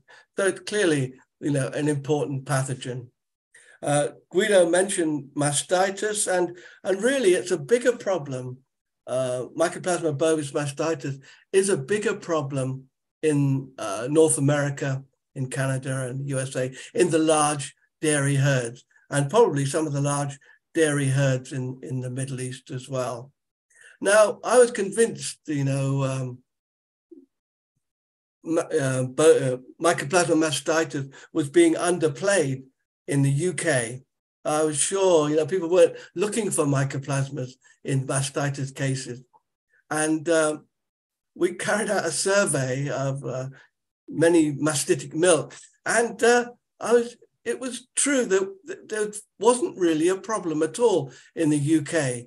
And it's really as a result of the fact that the biggest risk factor for mastitis, uh, mycoplasma mastitis, uh, is herd size anything above 400, 500 herd have a greater risk of, uh, of developing mastitis. In the UK, our herds are relatively small, so we don't really see it on a, on a regular basis. So that was uh, quite an instructive uh, for me. Um, again, we can see uh, pathology here. Guido described some of the, the pathology here, necrosis, uh, congestion of the apical lobes. We've got head tilt here, otitis. This animal, very healthy regardless, uh, but had this head tilt, permanent head tilt, as a result of otitis infection.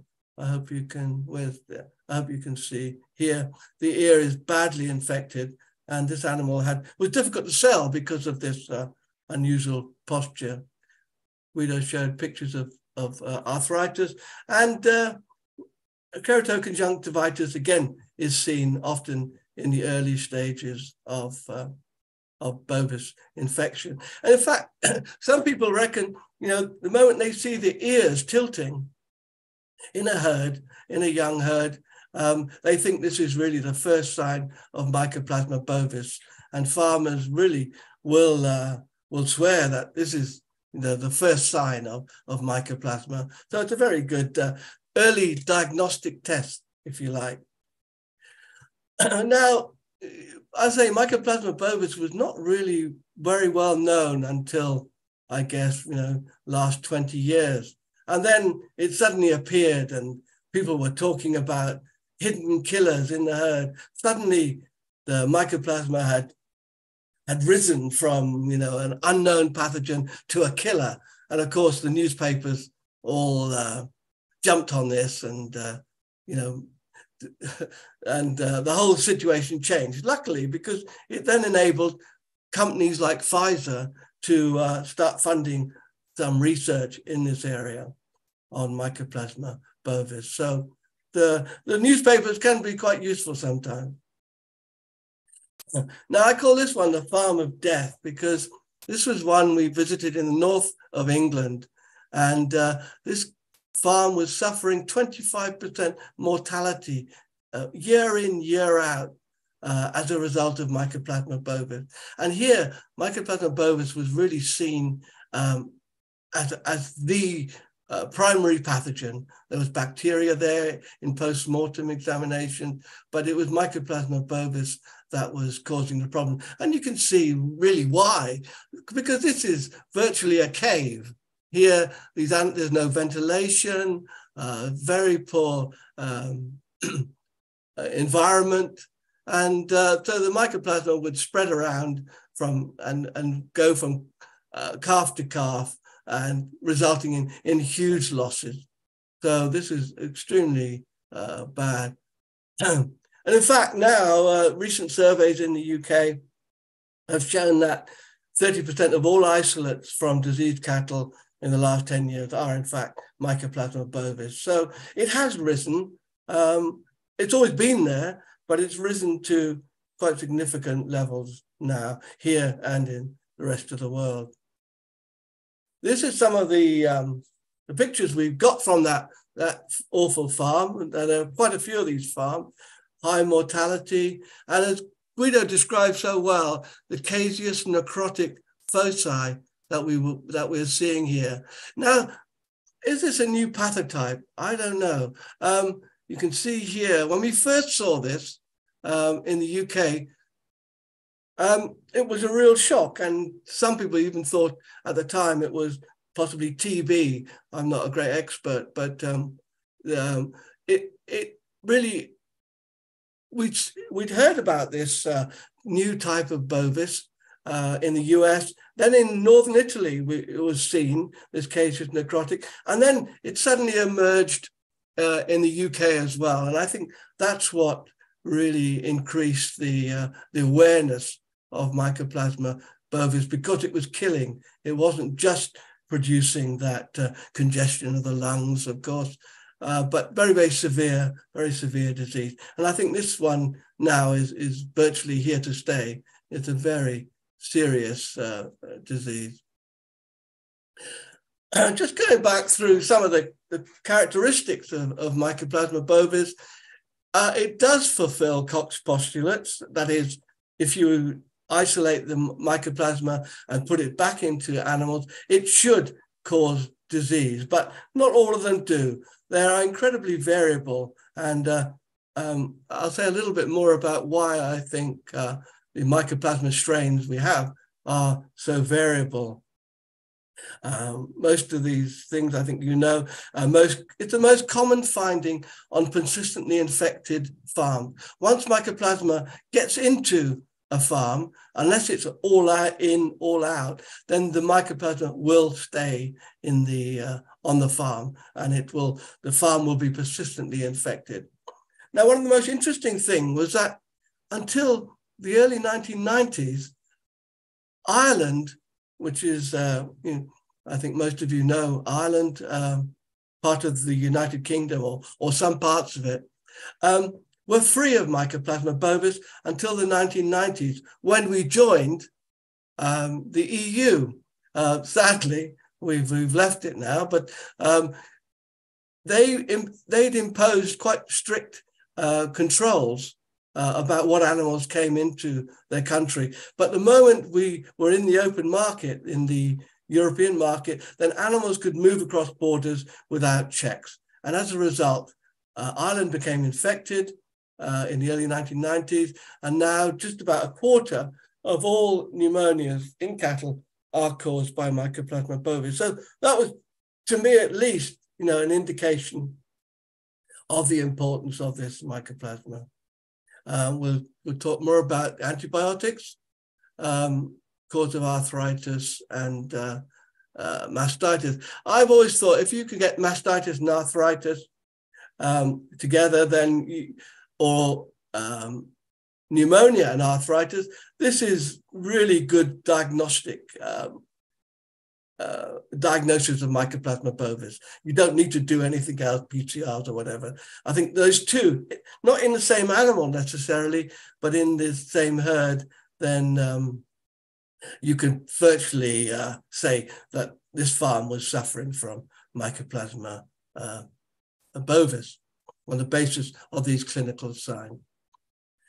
Uh, the disease is spread really very, very uh, poorly, if you like, when you consider the other diseases like, uh, uh, you know, foot and mouth disease, things like that. It's only transmitted by close and repeated contact.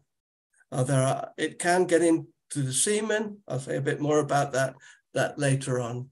Um, so the, the thing is, it can be controlled because of this very poor spread um, of, the, of the disease. It can be controlled. Uh, persistence in the environment, um, it's very closely related to Mycoplasma agalactiae, which is the cause of contagious agalactia. But we haven't seen the same um, evidence for persistence in the environment. When, I'm not aware of any situations where uh, freshly stocked herds have become infected from the environment. But maybe this is uh, another area that we need to look at. But I think in 100%, 90, all right, 99% of cases, it's close contact with other infected animals that um, is the reason the disease spreads. Uh, one interesting area that uh, we, we only just came across a few years ago was um, the brain invasion. Um, and the mycoplasma can get into the brain in, in three ways, really. Uh, it can get in through the bloodstream because inflammation uh, increases the permeability of the blood-brain barrier, BBB, the blood-brain barrier. It mycoplasmas can get across. The problem was we didn't think they could um, they could invade the cells. Um, but more, more we're looking at, we realize that they can actually get inside, they can invade uh, the cells. Um, so that's that's one area.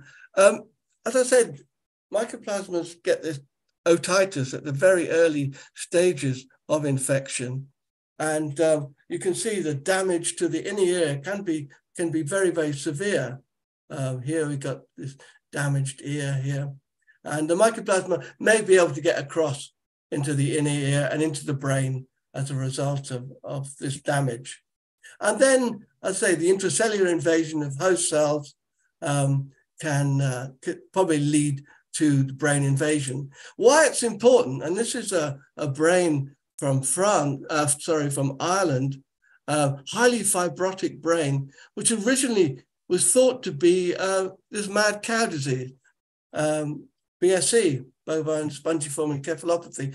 And we think that quite a few of the early cases of uh, mad cow disease could well have been as a result of, of Mycoplasma bovis. So that adds a different dimension uh, to, to this uh, organism.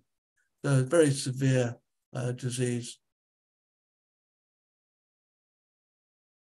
Okay, so um, as I said, the Mycoplasma uh, bovis has spread really across the world now. Um, and uh, we've got uh, New Zealand was the last country to become infected, 2017, and I'll say a little bit more about that. But you can see it first emerged probably in, in the US in 1962 here, and one of the first, it went across to Israel, we're pretty sure, in high pedigree animals, um, because Israel was trying to develop its uh, dairy industry. So that's probably, you know, the first uh, movement. And then it spread across the world. Did it spread, or really is it just an indication of where uh, diagnostics came, uh, enabled the detection of the disease? So in some cases, it will be primary infection. Other case, it's it's the fact that people are starting looking for it now. For example, China in 2008. I mean, I'm sure the disease was there, but it wasn't until then that people started to look for mycoplasmas and detect them. So this isn't just the spread, it's really more about um, the, the, ability of different countries to uh, detect and uh, isolate and detect mycoplasmas. And I mentioned here, this is 1993, when Ireland became infected following Britain's uh, um, uh, entry into the uh, EU. And now, both in, in Turkey, I, I, started looking, I thought I'd have a quick look to see uh, when, when it was first reported in Turkey. Now, I may be wrong here, but I could only go back to 2008 when I was really surprised because um, uh, a colleague, uh, Dr. Ongor, I, I, don't know if he's listening today or if he's still active, but he sent me some isolates that he'd obtained from poultry. And um, he thought they were Mycoplasma bovis, and, uh, and we carried out um, uh, molecular diagnosis, and we could actually confirm that uh, the, probably the first isolation or the first report of Mycoplasma bovis in Turkey was, you know, in 2008. I'm sure they were around before that, and I'm sure maybe Ümit was isolating them. Perhaps she could tell me or not. Um, but anyway, the first published report was uh, was something that I was fortunately involved with. So I'm really um, quite uh, happy about that. But the first, um, I guess, report of respiratory problems uh, in Turkey uh, were by these workers, um, and they reported this in 2010 problems in the eastern Turkey, probably somewhere near your institute, Mehmet. I don't, I don't know. anyway, unfortunately, I am working for the government. Yeah. Okay. Not only, not like uh, uh, for the university. I, I, mean. Right, right. Anyway, so the Eastern. Uh, so I think these are the only reports. I hope I'm. Perhaps people could uh, tell me differently that perhaps there was reports of Mycoplasma bovis in Turkey before this. I'm sure they were, but uh, the report perhaps published in uh, Turkish paper uh, news uh, journal. And this is in fact the um, the uh, the gel that I used to isolate these Mycoplasma bovis from chickens. And uh, this technique is called PCR DGGE. I don't know if many of you are familiar with this particular technique. Uh, it's it's it's really it's the method of choice for us in the uh, in the UK. We use this method a lot.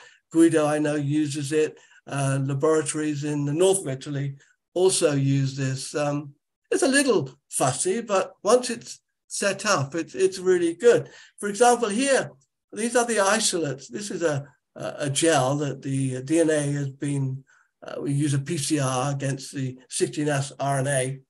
And the gel, uh, the DNA ru- runs down the gel to, to a point close to its melting point.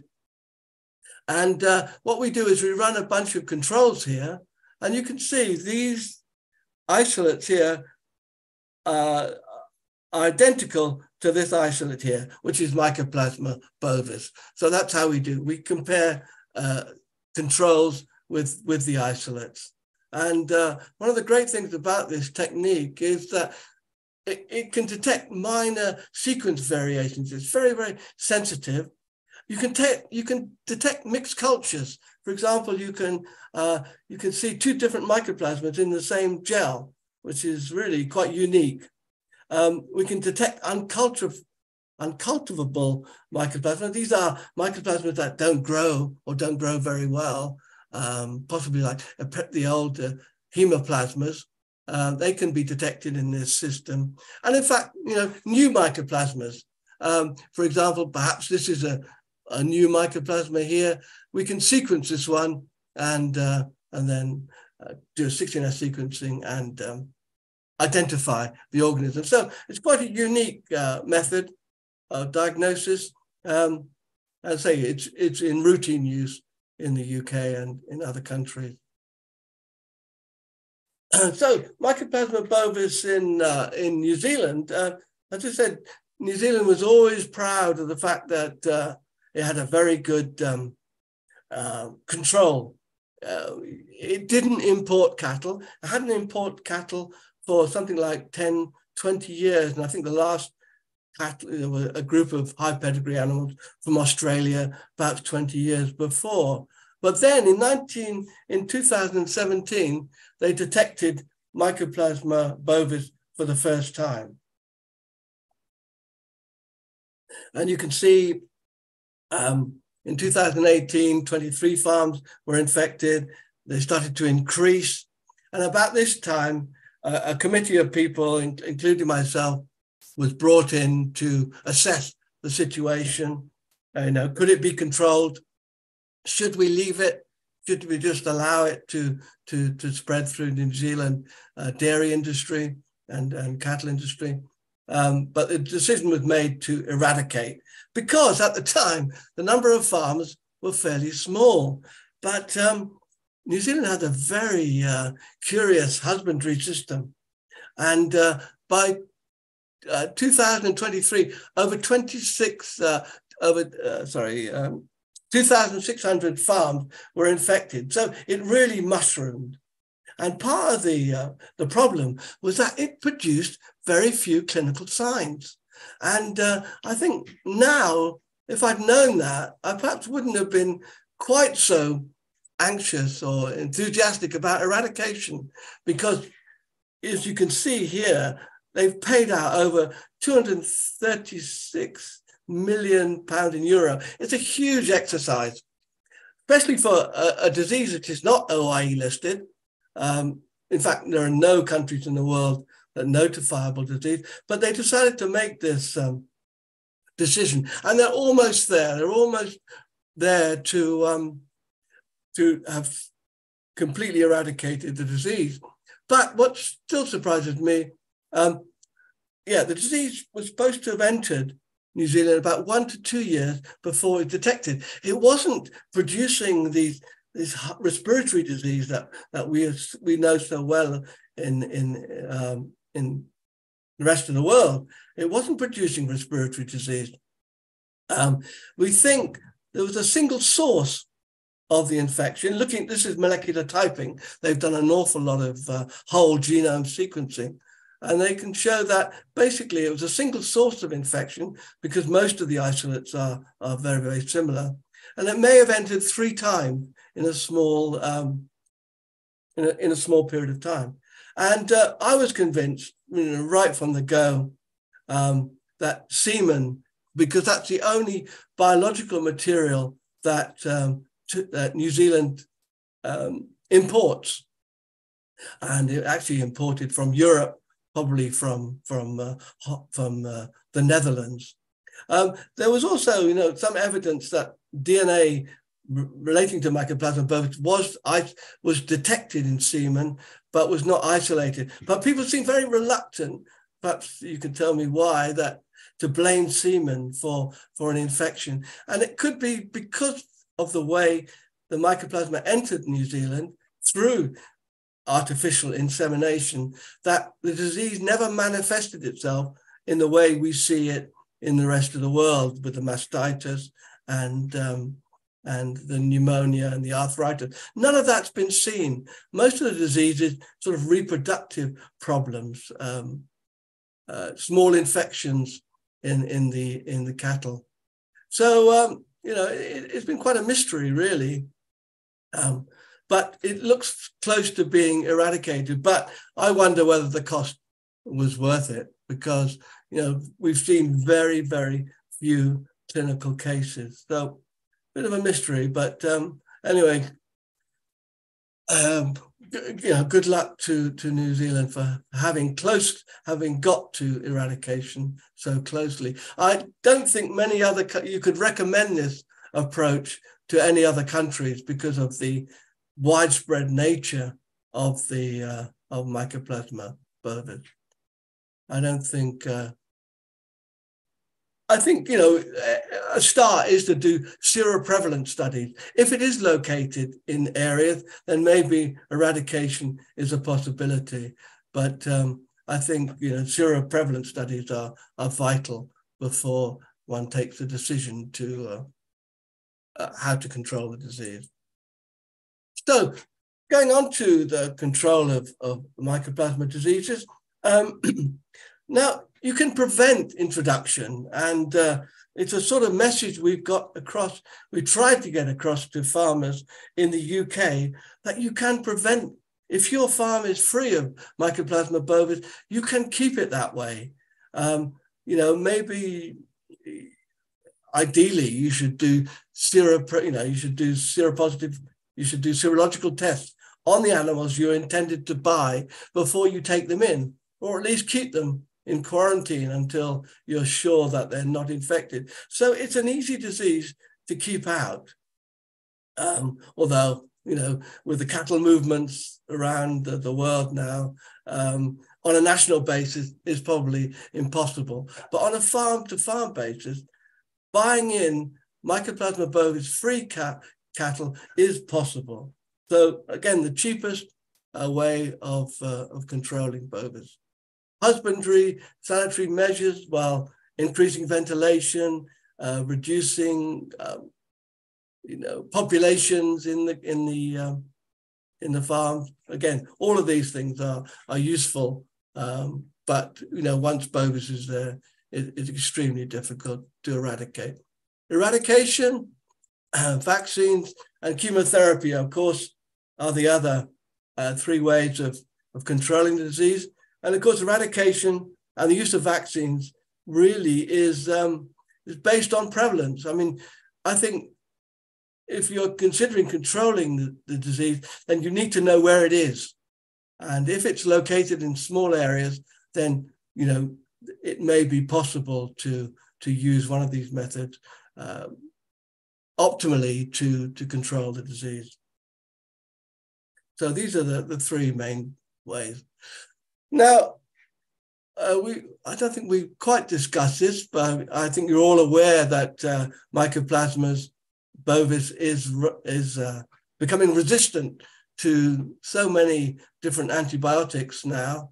Uh, it's almost untreatable. I think most people would would agree uh, it, it's getting close to that. Um, this is over 16 years, and you can see we've got resistance to tilmycosin, although it was always a seemed to be a problem. Tylosin, oxytet is now not very useful.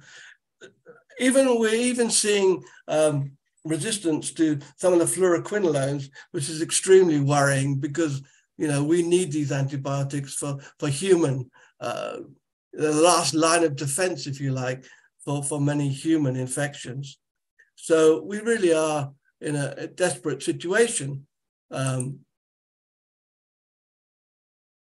and this is the more, more recent data. I hope you can you can see it. Um, again, you you you know you you're getting uh, resistance here uh, to enrofloxacin. Um, of course, is no longer any use at all. Oxytetracycline, and th- but these two, these are the new the Draxin, uh, which Pfizer have um, you know made a, a claim that this one will, um, despite the high MIC values, uh, they believe it will control the disease, suggesting that some of these antibiotics use other methods um, uh, to uh, to kill bacteria and and to kill mycoplasmas, such as you know um, increasing in higher concentrations in the lung, for example. Um, so there are, and of course, the uh, immune system is also can be uh, brought in to help these uh, antibiotics as well. So this is a very complex area, but I think you'll agree, you know, that we are really running out of options on the chemotherapy front for Mycoplasma bovis. So what are we left with? We're left with uh, with vaccines, really, which of course, um, I guess is why we're why we're here. And um, but we've got a real challenge, I think, with Mycoplasma bovis. An ideal vaccine, of course, this is the uh, hypothetical case, uh, should be safe, should be stable, uh, should be a single shot if possible, long duration of immunity, and high levels of protection. Well, I'm not sure there are many vaccines that really that used today which uh, um, you know reach all those those targets. But the unfortunate problem is that mycoplasmas, you know, make things worse. They provoke generally provoke low levels of antibody, and the antibodies don't often, very rarely correlate with protection. Um, the uh, there's obviously some autoimmunity going on because Mycoplasma bovis can sometimes uh, excite huge levels of cell-mediated and humoral uh, immune system, but without actually protecting the, the animal. We've got antigenic variability. The mycoplasma can change its uh, surface antigens at will virtually. So the, micro, the immune system doesn't fails to recognize the mycoplasma. Biofilm, uh, we've, we've, we've uh, we demonstrated mycoplasmas produce biofilms, which again protect the mycoplasma from the immune system and indeed from, from antibiotics. And I think we lack good challenge models. Um, we spent a lot of time looking to produce uh, good calf models, but um, often they were uh, were not very robust, very variable, very difficult to compare one experiment with another. So these are the downsides uh, to producing a vaccine. Now, there has been, you know, quite a long time ago, I think some people in the, in the UK at the Compton Institute recognized, were the first to recognize that mycoplasmas were a problem in the, uh, in the field. And uh, they became interested. And I think they took, right from the word go, they took the right decision. They developed a vaccine incorporating the major pathogens of, of pneumonia. So you had uh, RSV, you had PI3, we had bovis, and I thought very far-sightedly, they also incorporated uh, Mycoplasma dispar because uh, their work had shown that Mycoplasma bovis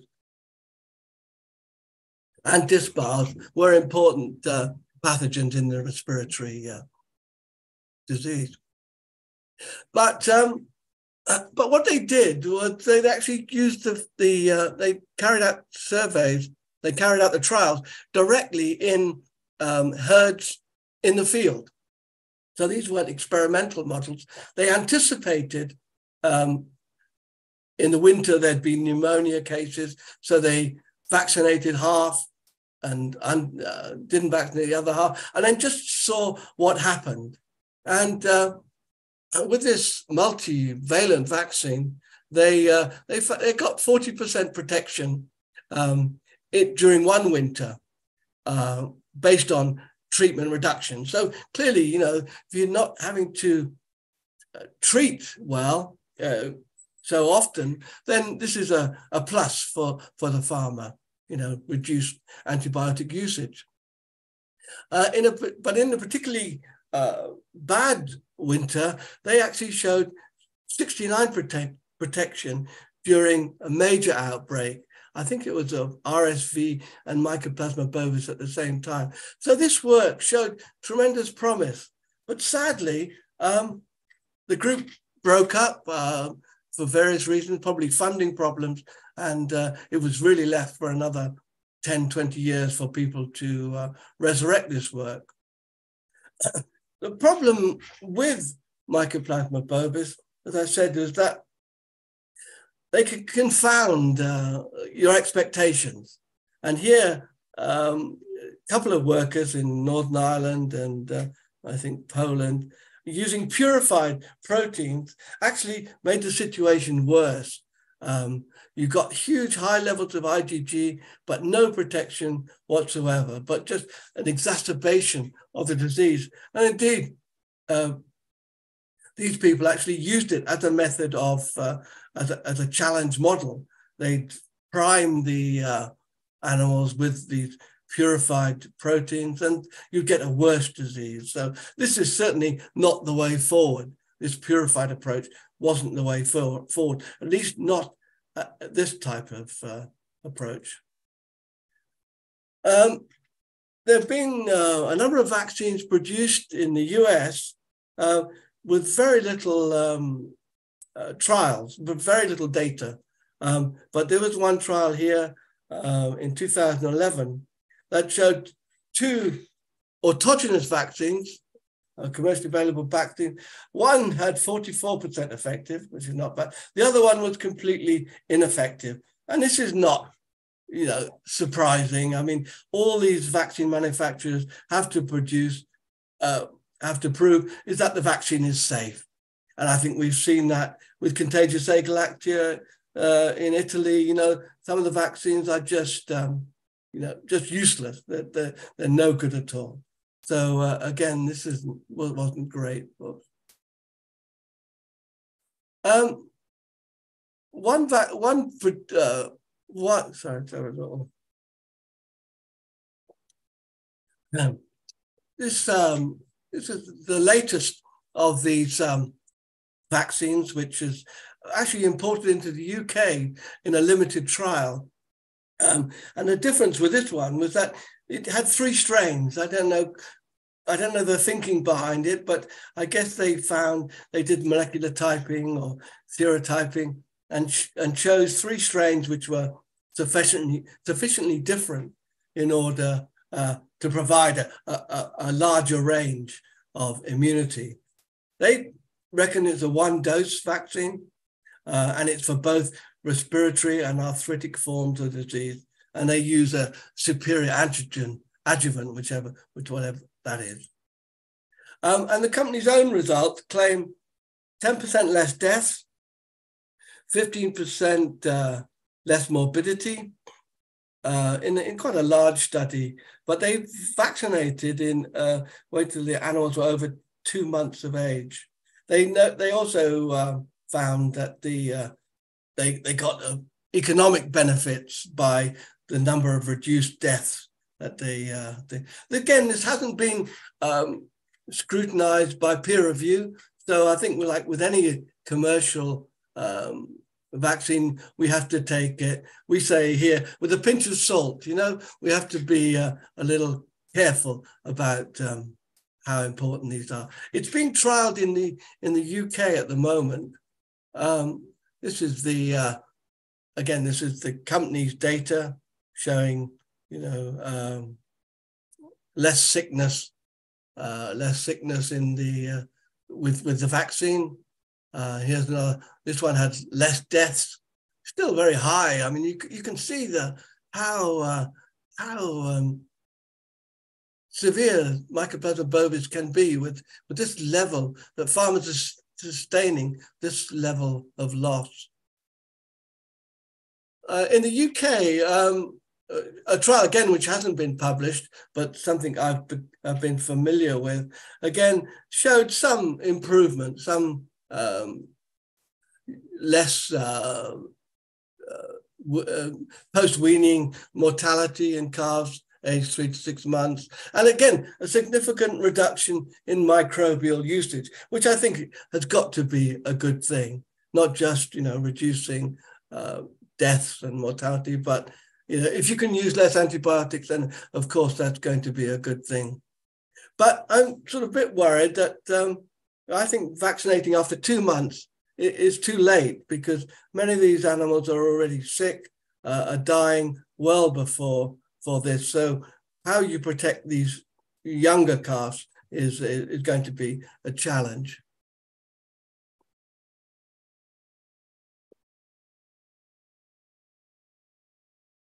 How am I doing for time, Mehmet? Is that okay? We're okay for time?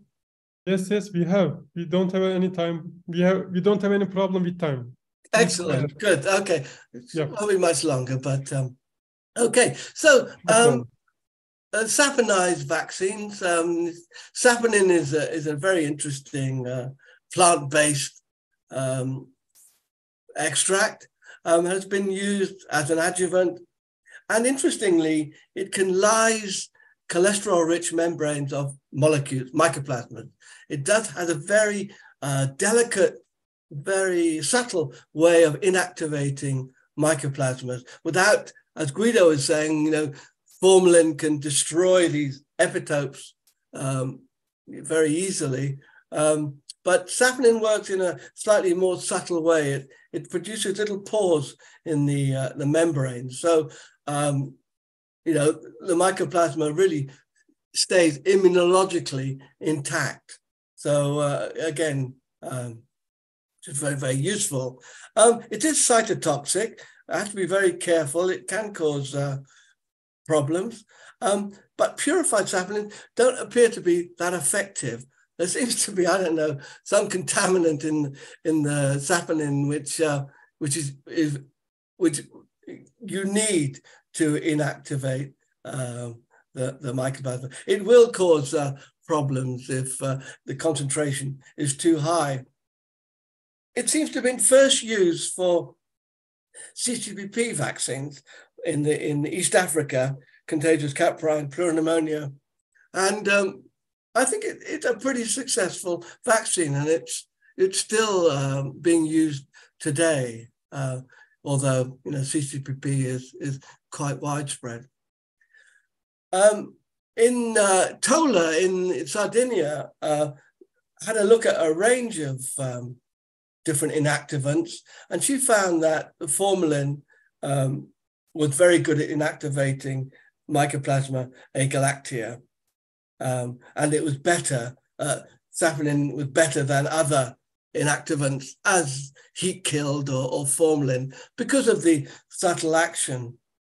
So I think the balance has to be, but balance must be struck between its mycoplasmacidal activity and the cytotoxic effect. If you use too little, you don't get decent adjuvant, and if you use too much, then you you can cause uh, problems, uh, adverse reactions in the animals. Well, we used we start we thought, well, hang on a minute, we know maybe Agalactiae is very similar to, to Mycoplasma bovis. Let's use uh, um, let's use saponin for a Mycoplasma bovis vaccine. And uh, I mean, this trial is, is, is pretty old now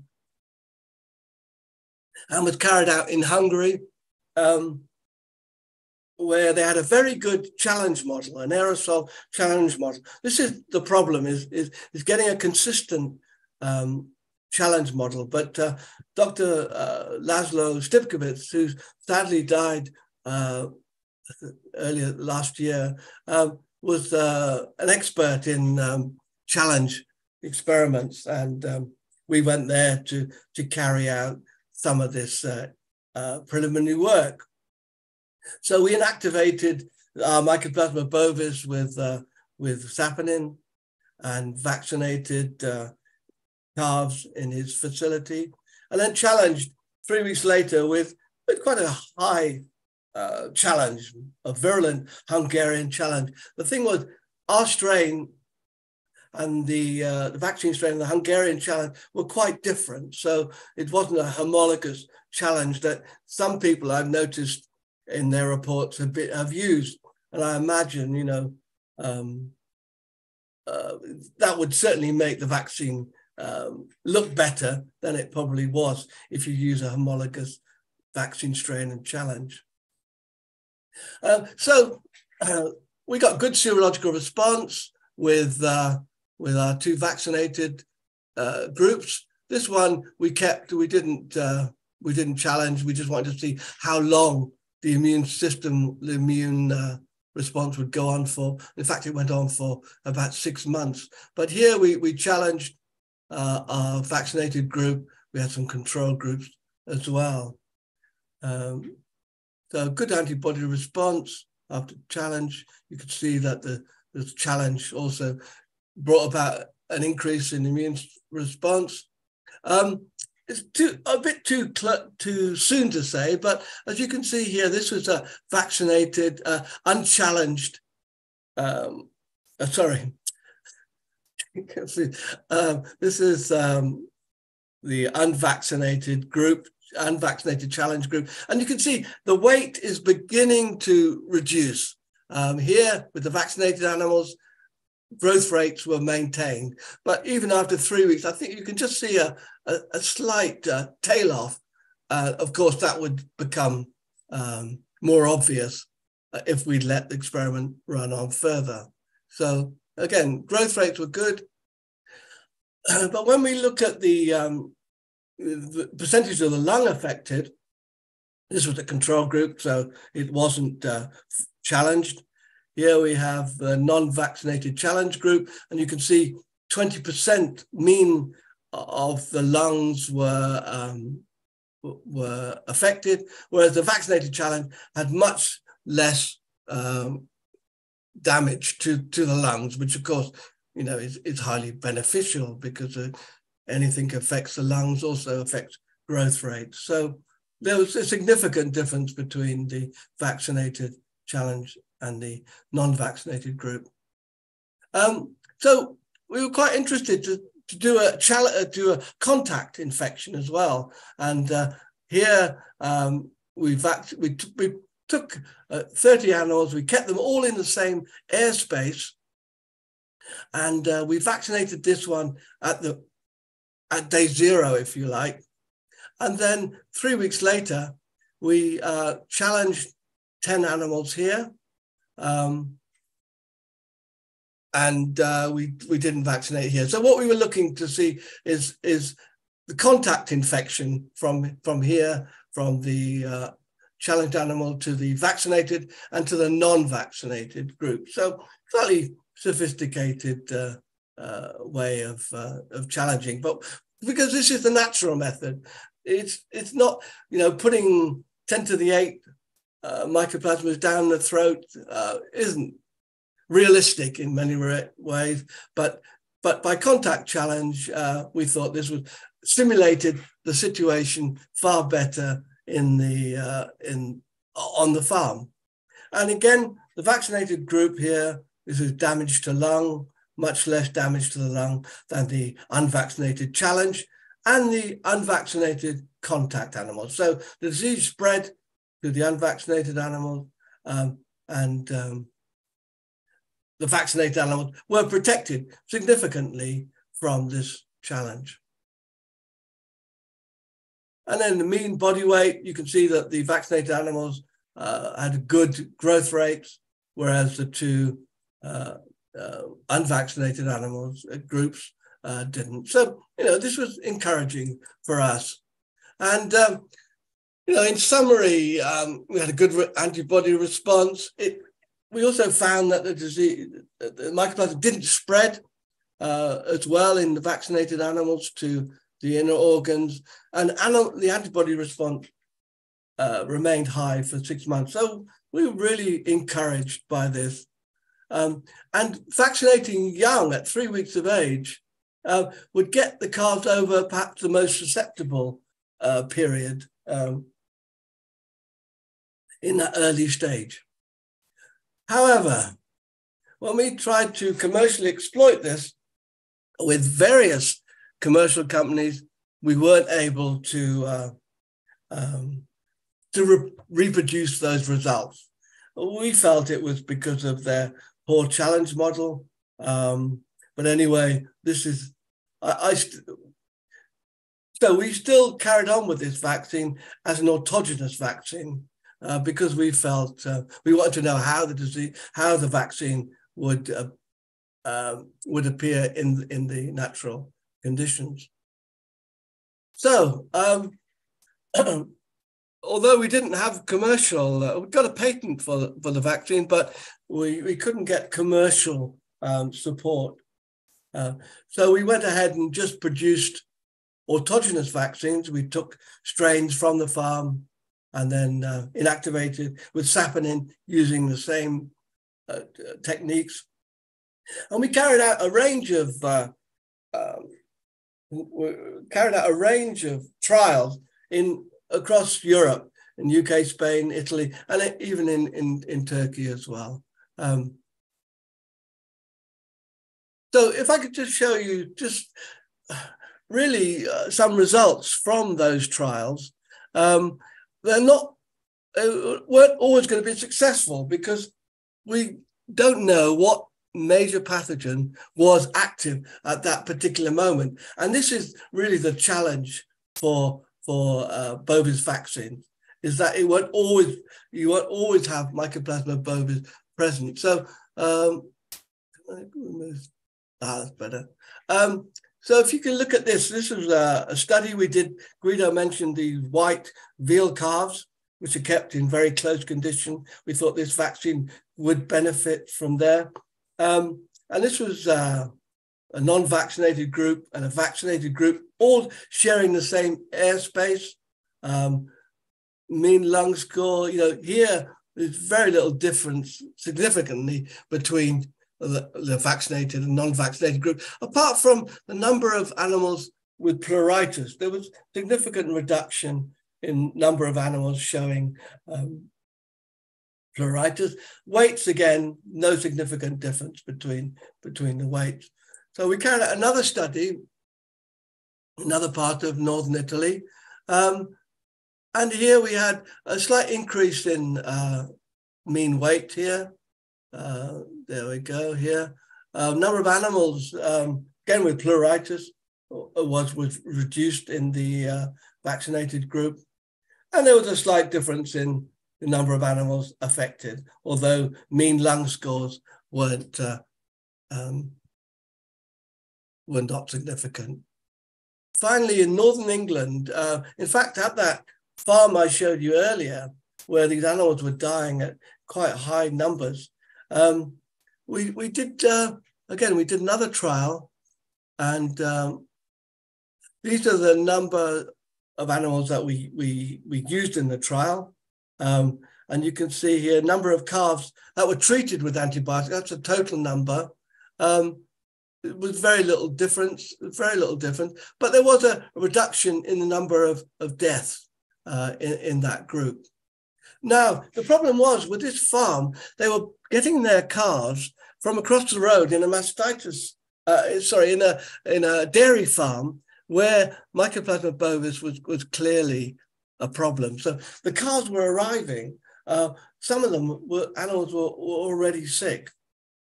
So what we thought we'd do is to treat them first before vaccinating. And uh, although numbers were very, very small, uh, number of treatments, um, okay, yeah, it's a much smaller group.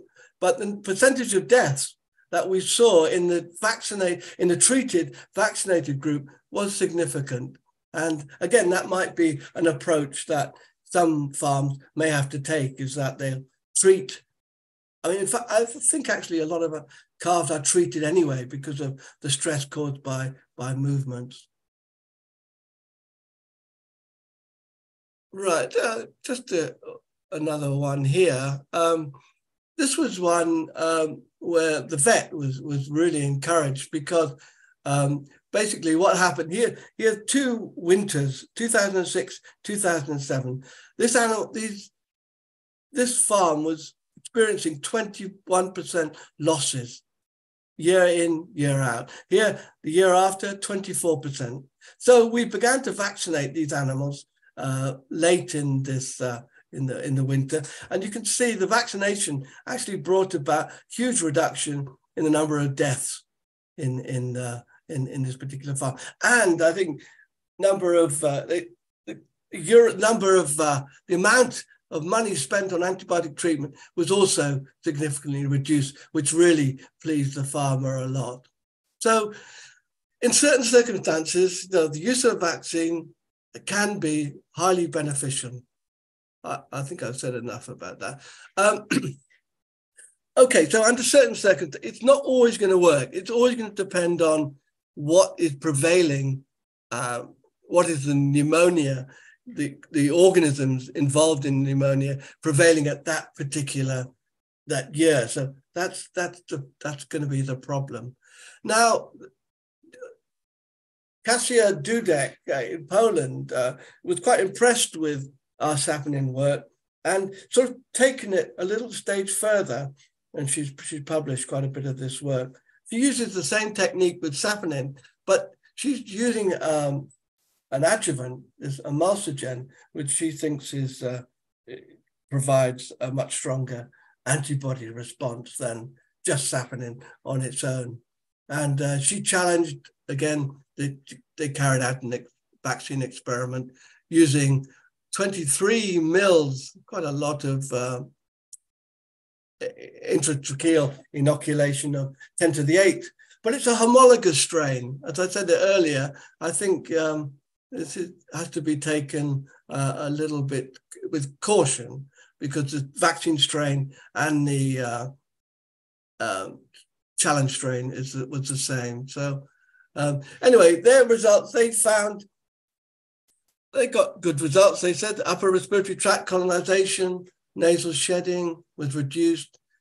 Uh, they got anti, good antibody response, reduction in lesions, uh, good antibody response, and even cell mediated immunity was uh, was increased. So um, as I said, you know, I think uh, they're moving ahead with with that vaccine. The Polish are moving ahead with that vaccine, and they've got some uh, trials ahead. Um, I think they do need to, I think, use a different strain for challenge than than what they've been using. So, what about live vaccines? Now, I'm a great proponent of of live vaccines for for um, for mycoplasmas. We know the CBPP vaccine, the only vaccine that's ever been shown to work is a live vaccine. It's an attenuated strain, mildly virulent. Um, and uh, I think in, in the poultry industry, um, they also uh, uh, use live vaccines. And I believe uh, in Pendik as well, I know in Pendik that they've also used uh, live vaccines with, with very good effect. I believe for uh, Mycoides capri. Um, and I think uh, really we shouldn't lose uh, sight of these live vaccines because they really do uh, stimulate good responses. Um, of course, there's safety issues as well uh, we need to uh, be careful of. But they're cheaper to produce. They're very immunogenic. They're protective. Uh, and indeed, in say in, in China as well, a vaccine. Uh, I hear it is yeah. The the Chinese have been trialing two live uh, serially passaged mycoplasma bovis vaccine at passage 150 and passage 180. So they've been doing a lot of passaging. Uh, got enormous challenge. Three um, three doses of 10 to the 10, which is quite extraordinary in my opinion. Uh, but based on uh, their results, uh, they, they get very, very good protection. I think, again, I think we have to be a little bit cautious, um, you know, to get that levels of protection um, with that massive dose. Um, but anyway, I, I, I think live vaccines uh, really do are the future for particularly Mycoplasma bovis, which is so widespread. it really wouldn't uh, cause huge problems. Now, many, well, a few years ago now, I guess 10, 15 years ago, I had a PhD student um, who uh, was looking at hydrogen peroxide. And we know hydrogen peroxide is linked to that coagulative necrotic lesions that we see with Mycoplasma bovis now. And these are different strains. He took a range of different strains and he was able to show that some strains had really massive levels of hydrogen peroxide when, when undergoing metabolism, and some very little at all. Uh, and there's a possibility that the variation in pathogenicity we see with Mycoplasma bovis may be related to hydrogen uh, peroxide levels. And I believe that these new strains that were, which are producing these uh, very severe lesions do produce large quantities of hydrogen peroxide. But again, this is work that really uh, needs to be done, I think. Uh, perhaps this is a, uh, something that uh, Mehmet could, could, could look at because uh, sadly this work stopped at King's College in London um, following changes in staff. So again, I think this is a, an important um, feature. Um, so basically what we did, what, what uh, Ali Khan did, my student, uh, he passed out, he started to passage these strains as, uh, you know, uh, as people do, and uh, found that on passaging, you know, by 100 passage, the amount of hydrogen peroxide produced was, was really significantly down on the uh, on the original strain. And when we looked at the SDS page, we could see that after uh, about 50 passages, we'd lost a band here, uh, a protein band here, which we identified as NADH oxidase, which is a, an enzyme in the, uh, the uh, metabolism uh, which produces hydrogen peroxide. So by multipassaging this uh, Mycoplasma bovis strain, we produced uh, what we thought was an attenuated uh, strain. Uh, we weren't able to do uh, cattle work because of, of the expense, um, but we did manage to find um, a company that would do this type of do the experimental infection. And sadly, again, like the first time, they weren't able to reproduce these results. But again, I'm sure, you know, in the right hands, this uh, this type of um, attenuated strain um, could be tested. So finally, this is my final slide. Um, as I said before, um, Mycoplasma bovis vaccines are a challenge because success will vary on every farm and every season, as each will have a different combination of pathogens. You know, we have good years and bad years as far as pneumonia is concerned, linked to the weather, no doubt. So it's not going to be a, a consistent uh, picture. The vaccines are very effective. I think we've seen in some of the trials we did where M. bovis is the single or the major pathogen on that uh, on that farm. It will work. So it will work, I think, dramatically well in some cases. Again, good diagnosis is, is very important uh, to assess what strains are, are present on, on a farm.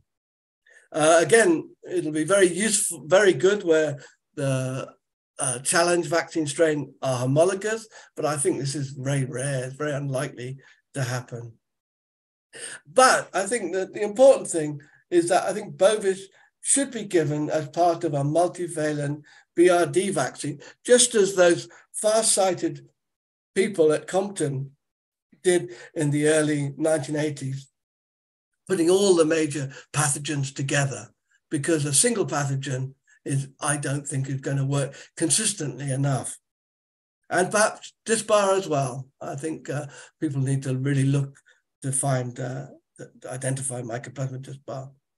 And again, I think, um, you know, one should really consider a live vaccine for Mycoplasma bovis.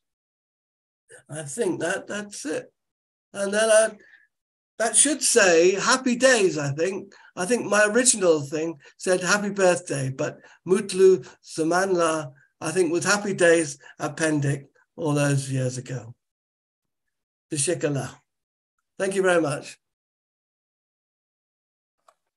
Thank you for the valuable presentation, Dr. Robin. Good. Okay, uh, I think uh, there is um, there is a person that wants to ask a question for you. Ümit, name is Ümit. Okay. First of all, thank you very much, both of you, for this great presentations. Robin, you mentioned that the Mycoplasma bovis uh, is persistence in heart. Uh, when it comes, it can be person, person. Um, we can say that all mycoplasma same thing exists. Uh, why we can not eradicate this strain? What is the reason this? And uh, any vaccination can affect on this person's condition? can can you repeat? I, I hold on. I just put on my uh, my sound is very poor. First of all, thank you very much for uh, this great presentation, both of you. Um, you mentioned that bovis is percent, persistence in the heart. When it comes, it can be persons. Uh, we can say that all mycoplasma same thing about exist. Uh, what is the reason of this persons? Why we cannot eradicate this strain? And uh, about vaccination, uh, is there any effect vaccination on this? Thank you. Why can't we uh, eradicate um, Mycoplasma bovis? I mean, I, th- I think we can, you know, I think uh, really to prevent the organism coming onto a farm, I think it's possible. Um, but many farmers are not very careful.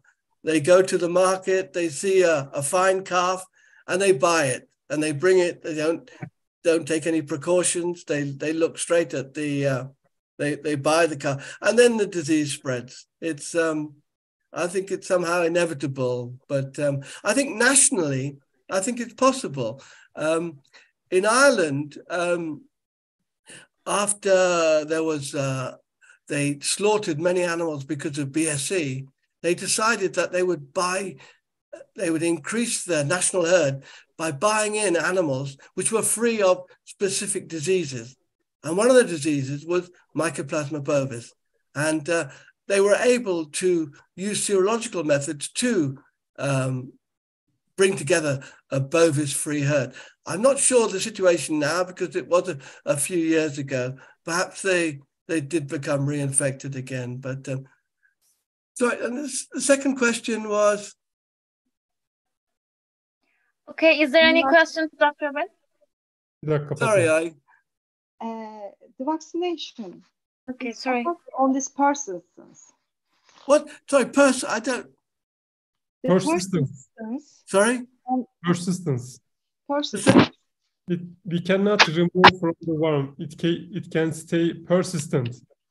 Persistent. Ah, sorry, persistent. Yeah, yeah, yeah. Sorry. Sorry, sorry about that. no, no. Um, The vaccination, what is the vaccination effect on this persistence condition?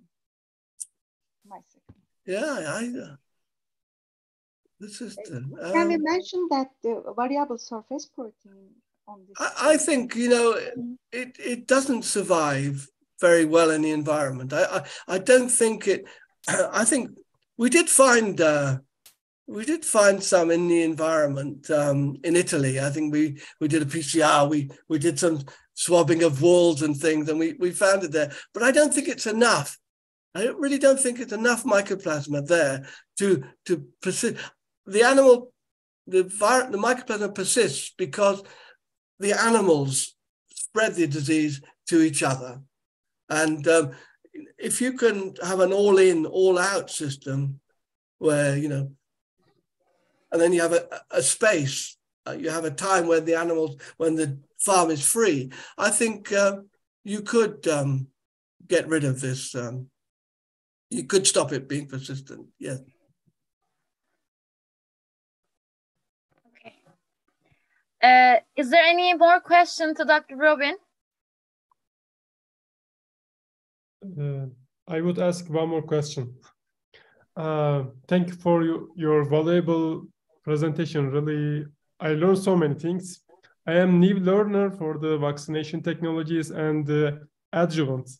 So that is why I would ask, like you mentioned, when we sapponize the vaccine, and it is better than uh, formalin or inactivation with the heat. So if we are using sapon, sapon, sapponize, so, are. I mean, it it it does it it means like we are destroying the bac bacteria cell or I mean, what's going on when we use sapponize? Can you give a bit information about that? I am not super familiar about the sapponize. That is why I am asking. Yeah, I mean, as I said, it, it's a, a very subtle um, inactivant. It, it seems to uh, cause small pores in the mycoplasma. It inactivates, uh, but keeps the uh, the surface architecture intact. I think it's a it's a very subtle uh, way. I think um, Guido, do you remember the the saponin? We started using saponin for agalactia yeah, vaccines yeah. many years ago, exactly. and uh, we sometimes had some problems. But um, exactly, you you are right. Um, saponin, uh, you know, attack the the the, the, the cholesterol cholesterol molecule of the membrane. So just disrupt, disrupt the mycoplasma, leaving all the antigen, uh, you know, intact. So that's very good. The only problem I, I, I observed, there's some time because uh, saponin is a detergent, so it's like soap, you know. Maybe it create uh, kind of uh, you know, resistant stage of mycoplasma. So maybe when we when we perform sterility test for two three weeks is negative, then get again positive. So the the utilization of saponin as inactivant must be really properly done because could get the risk to not to inactivate definitely like formalin does the, the antigen. This is the only constraint. Yeah. But the immune effect, it's fantastic. It's really, really strong. At least from the antibodies point of view.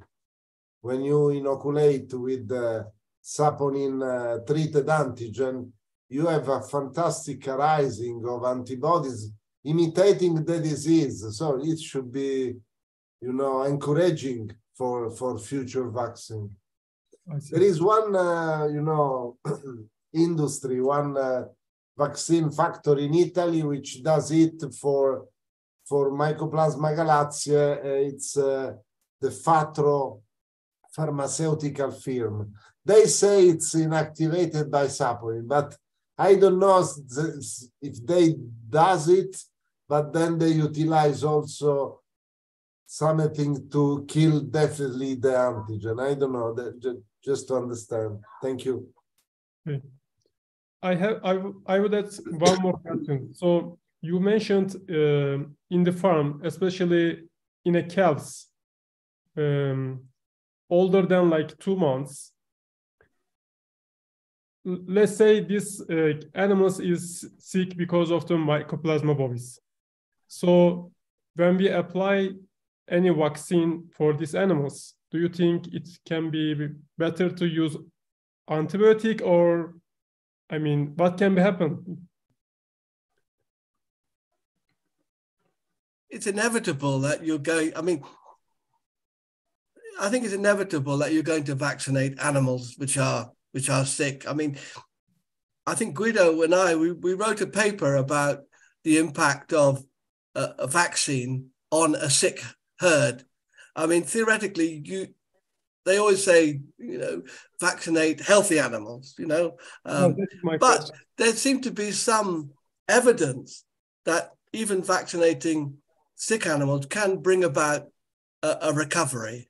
Um, I think it certainly needs uh, further work, but I mean the problem we found with many farms was that these animals were coming onto the farm coughing already. You know they were already sick, um, and I think the only way you can you can handle that situation is by treating with with antibiotics you know at, at the outset.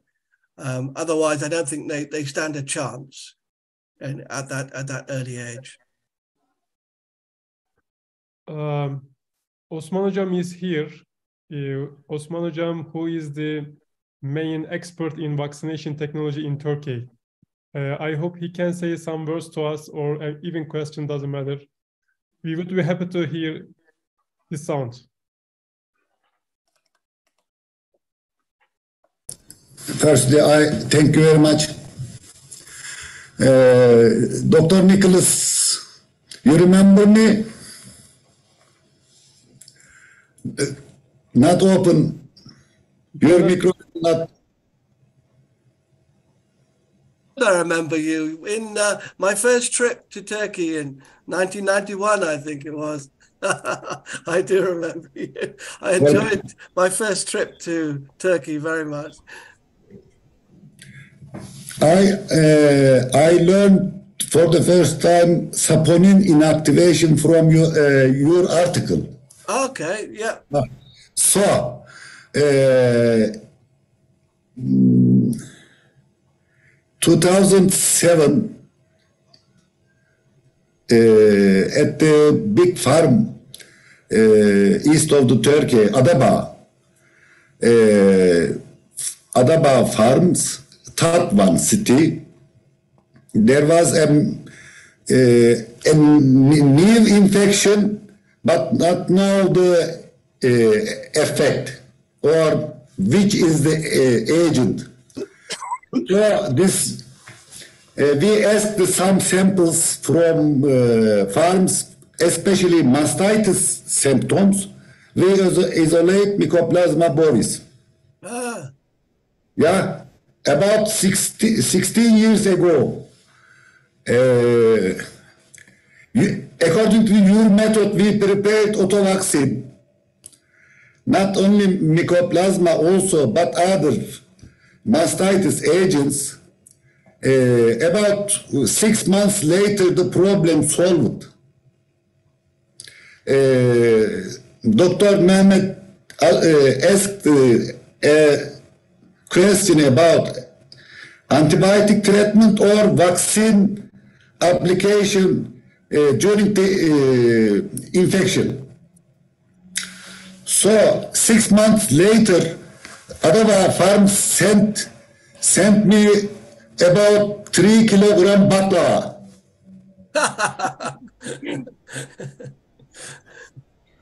then about three years later, uh, European part of the Turkey, uh, Tekirdağ, Lüleburgaz, uh, a government farm. The government farm bring two animals for Turkey from Europe. But there was a problem. There was a big problem of the uh, Türk geldi farm, uh, government farm, uh, mastitis, arthritis problem. Uh, also, we prepare a combined vaccine for mycoplasma and other mastitis agents. Also, two or three months later, uh, the institute director uh, called me, thank you very much, because uh, our milk production is uh, high, money is well, uh, we, uh, we take uh, animals from Europe because first farm imported animals. So, uh, auto vaccine. Again, I say thank you very much, Dr. Nicholas. We learned saponin inactivation from you because formalin inactivation destroyed the mycoplasma antigens. Saponin uh, inactivation for the good method for mycoplasma inactivated vaccine. If we prepare, uh, attenuate the mycoplasma strains, maybe better, ama, but, but mycoplasma bovis strain is very di- different genetic profiles. Uh, okay, thank you very much. I can't take too much credit, I think, for the saponin. It was fairly well known for Agalactia, which is very similar to Bovis. So I think I was very lucky, you know, to. Uh, uh, but I think you know Guido's experience. I think with the homolo- with the uh, saponin vaccine for Bovis. Did you use saponin, Guido? Yeah, as uh, as protection, I think is the best one. Yeah. I think the best one ever we tried in comparison with the phenol, phenol inactivated, uh, uh, formalin inactivated, heat inactivated, tri- Triton X inactivated. Uh, it was the one, at least in the small group of sheep we tested, uh, together with the live uh, vaccine done by Pendik Institute. They were the best in terms of uh, clinical, you know, performance. So really, animal, uh, you know, get a very good score. You know. So I think uh, it's it's very promising answers. We we also should uh, should understand, you know, better how to manage to maybe mixing some pathogens together, as you mentioned, maybe some virus like interstitial virus or Mannheimia together, because sometimes it's a complex. Mm. I remember when I entered in this institute, the old professor were working here. When they used to inoculate, for instance, purified Eh, Clostridium for to prevent clostridiosis in cattle or sheep and goats, they they, they normally didn't didn't work.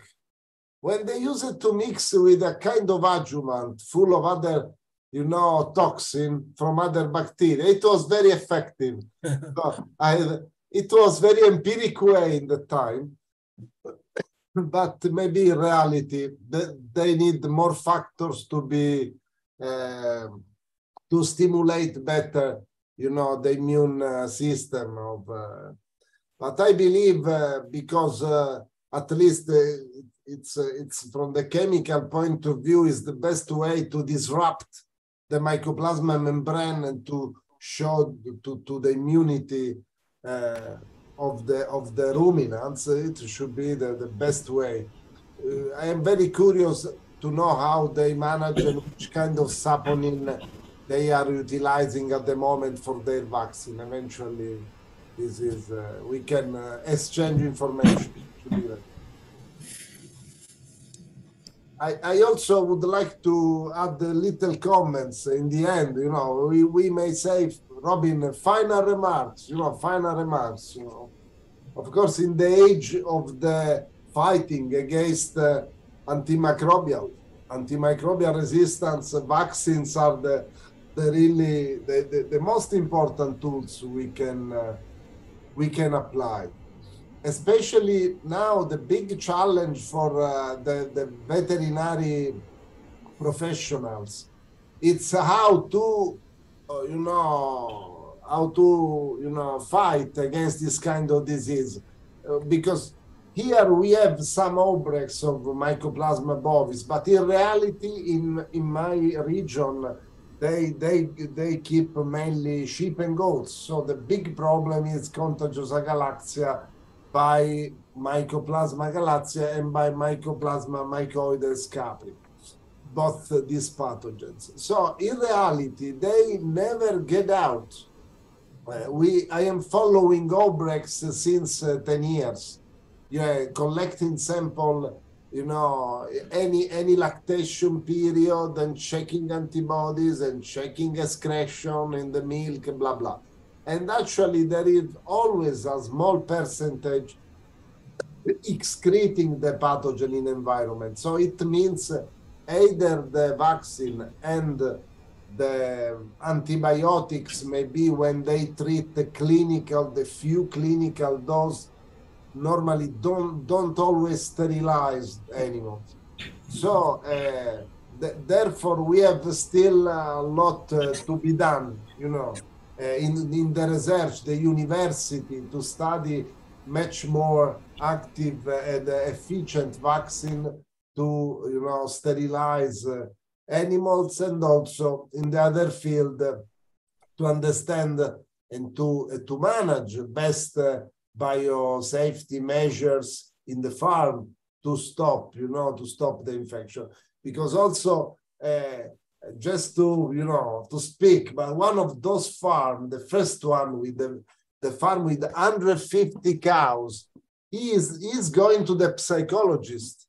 He is going, he is saying to us, I, I want to suicide myself because he can't go out from this problem can't go out, like probably some farms in uh, in New Zealand or Canada, when once uh, Mycoplasma bovis enter, no way to to uh, eradicate.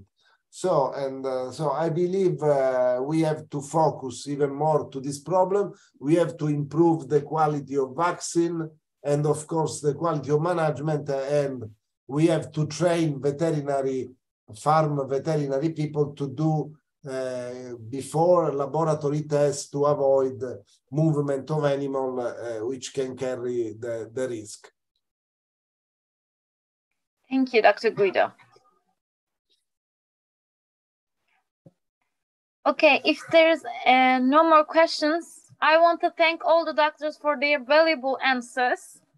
Thank you all. The, thank you for all. Uh, there is a question if there is no more question for Dr. Robin, there is a question. Uh, I'm sorry for mispronouncing the name. I'm really sorry about that. Uh, Yevgenia Balshik asked, uh, which methods for fighting cattle mycoplasmosis are most widely used in Turkey? I want to address this question to Muhammed Karahan. Muhammed Karahan, could you answer the question? Uh, hello, everyone. Can you hear me? Uh, my name is Mohamed Karan. I am working in uh, Istanbul Pendik Veterinary Control Institute, uh, Mycoplasma Reference Laboratory. First of all, uh, many thanks for Guido and Robin for excellent presentation. Uh, only CBPP notable uh, mycoplasmosis diseases in Turkish ministry control programs. Subspecial samples, animal samples and imported animal samples come to regional institute and regional institutes uh, sent us if suspecting samples for confirmation. Actually, uh, CBPP has never been seen in our country. If is uh, seen, we will use OIE, is WOAH, uh, met, uh, methods, uh, prevention and control methods, like a, disinfection, quarantine, and other, we don't have any control program for mycoplasma bovis and other ruminant mycoplasmosis. Uh, that's all. I hope it is enough for answer. Thank, Thank you very much. Thank, Thank you. you.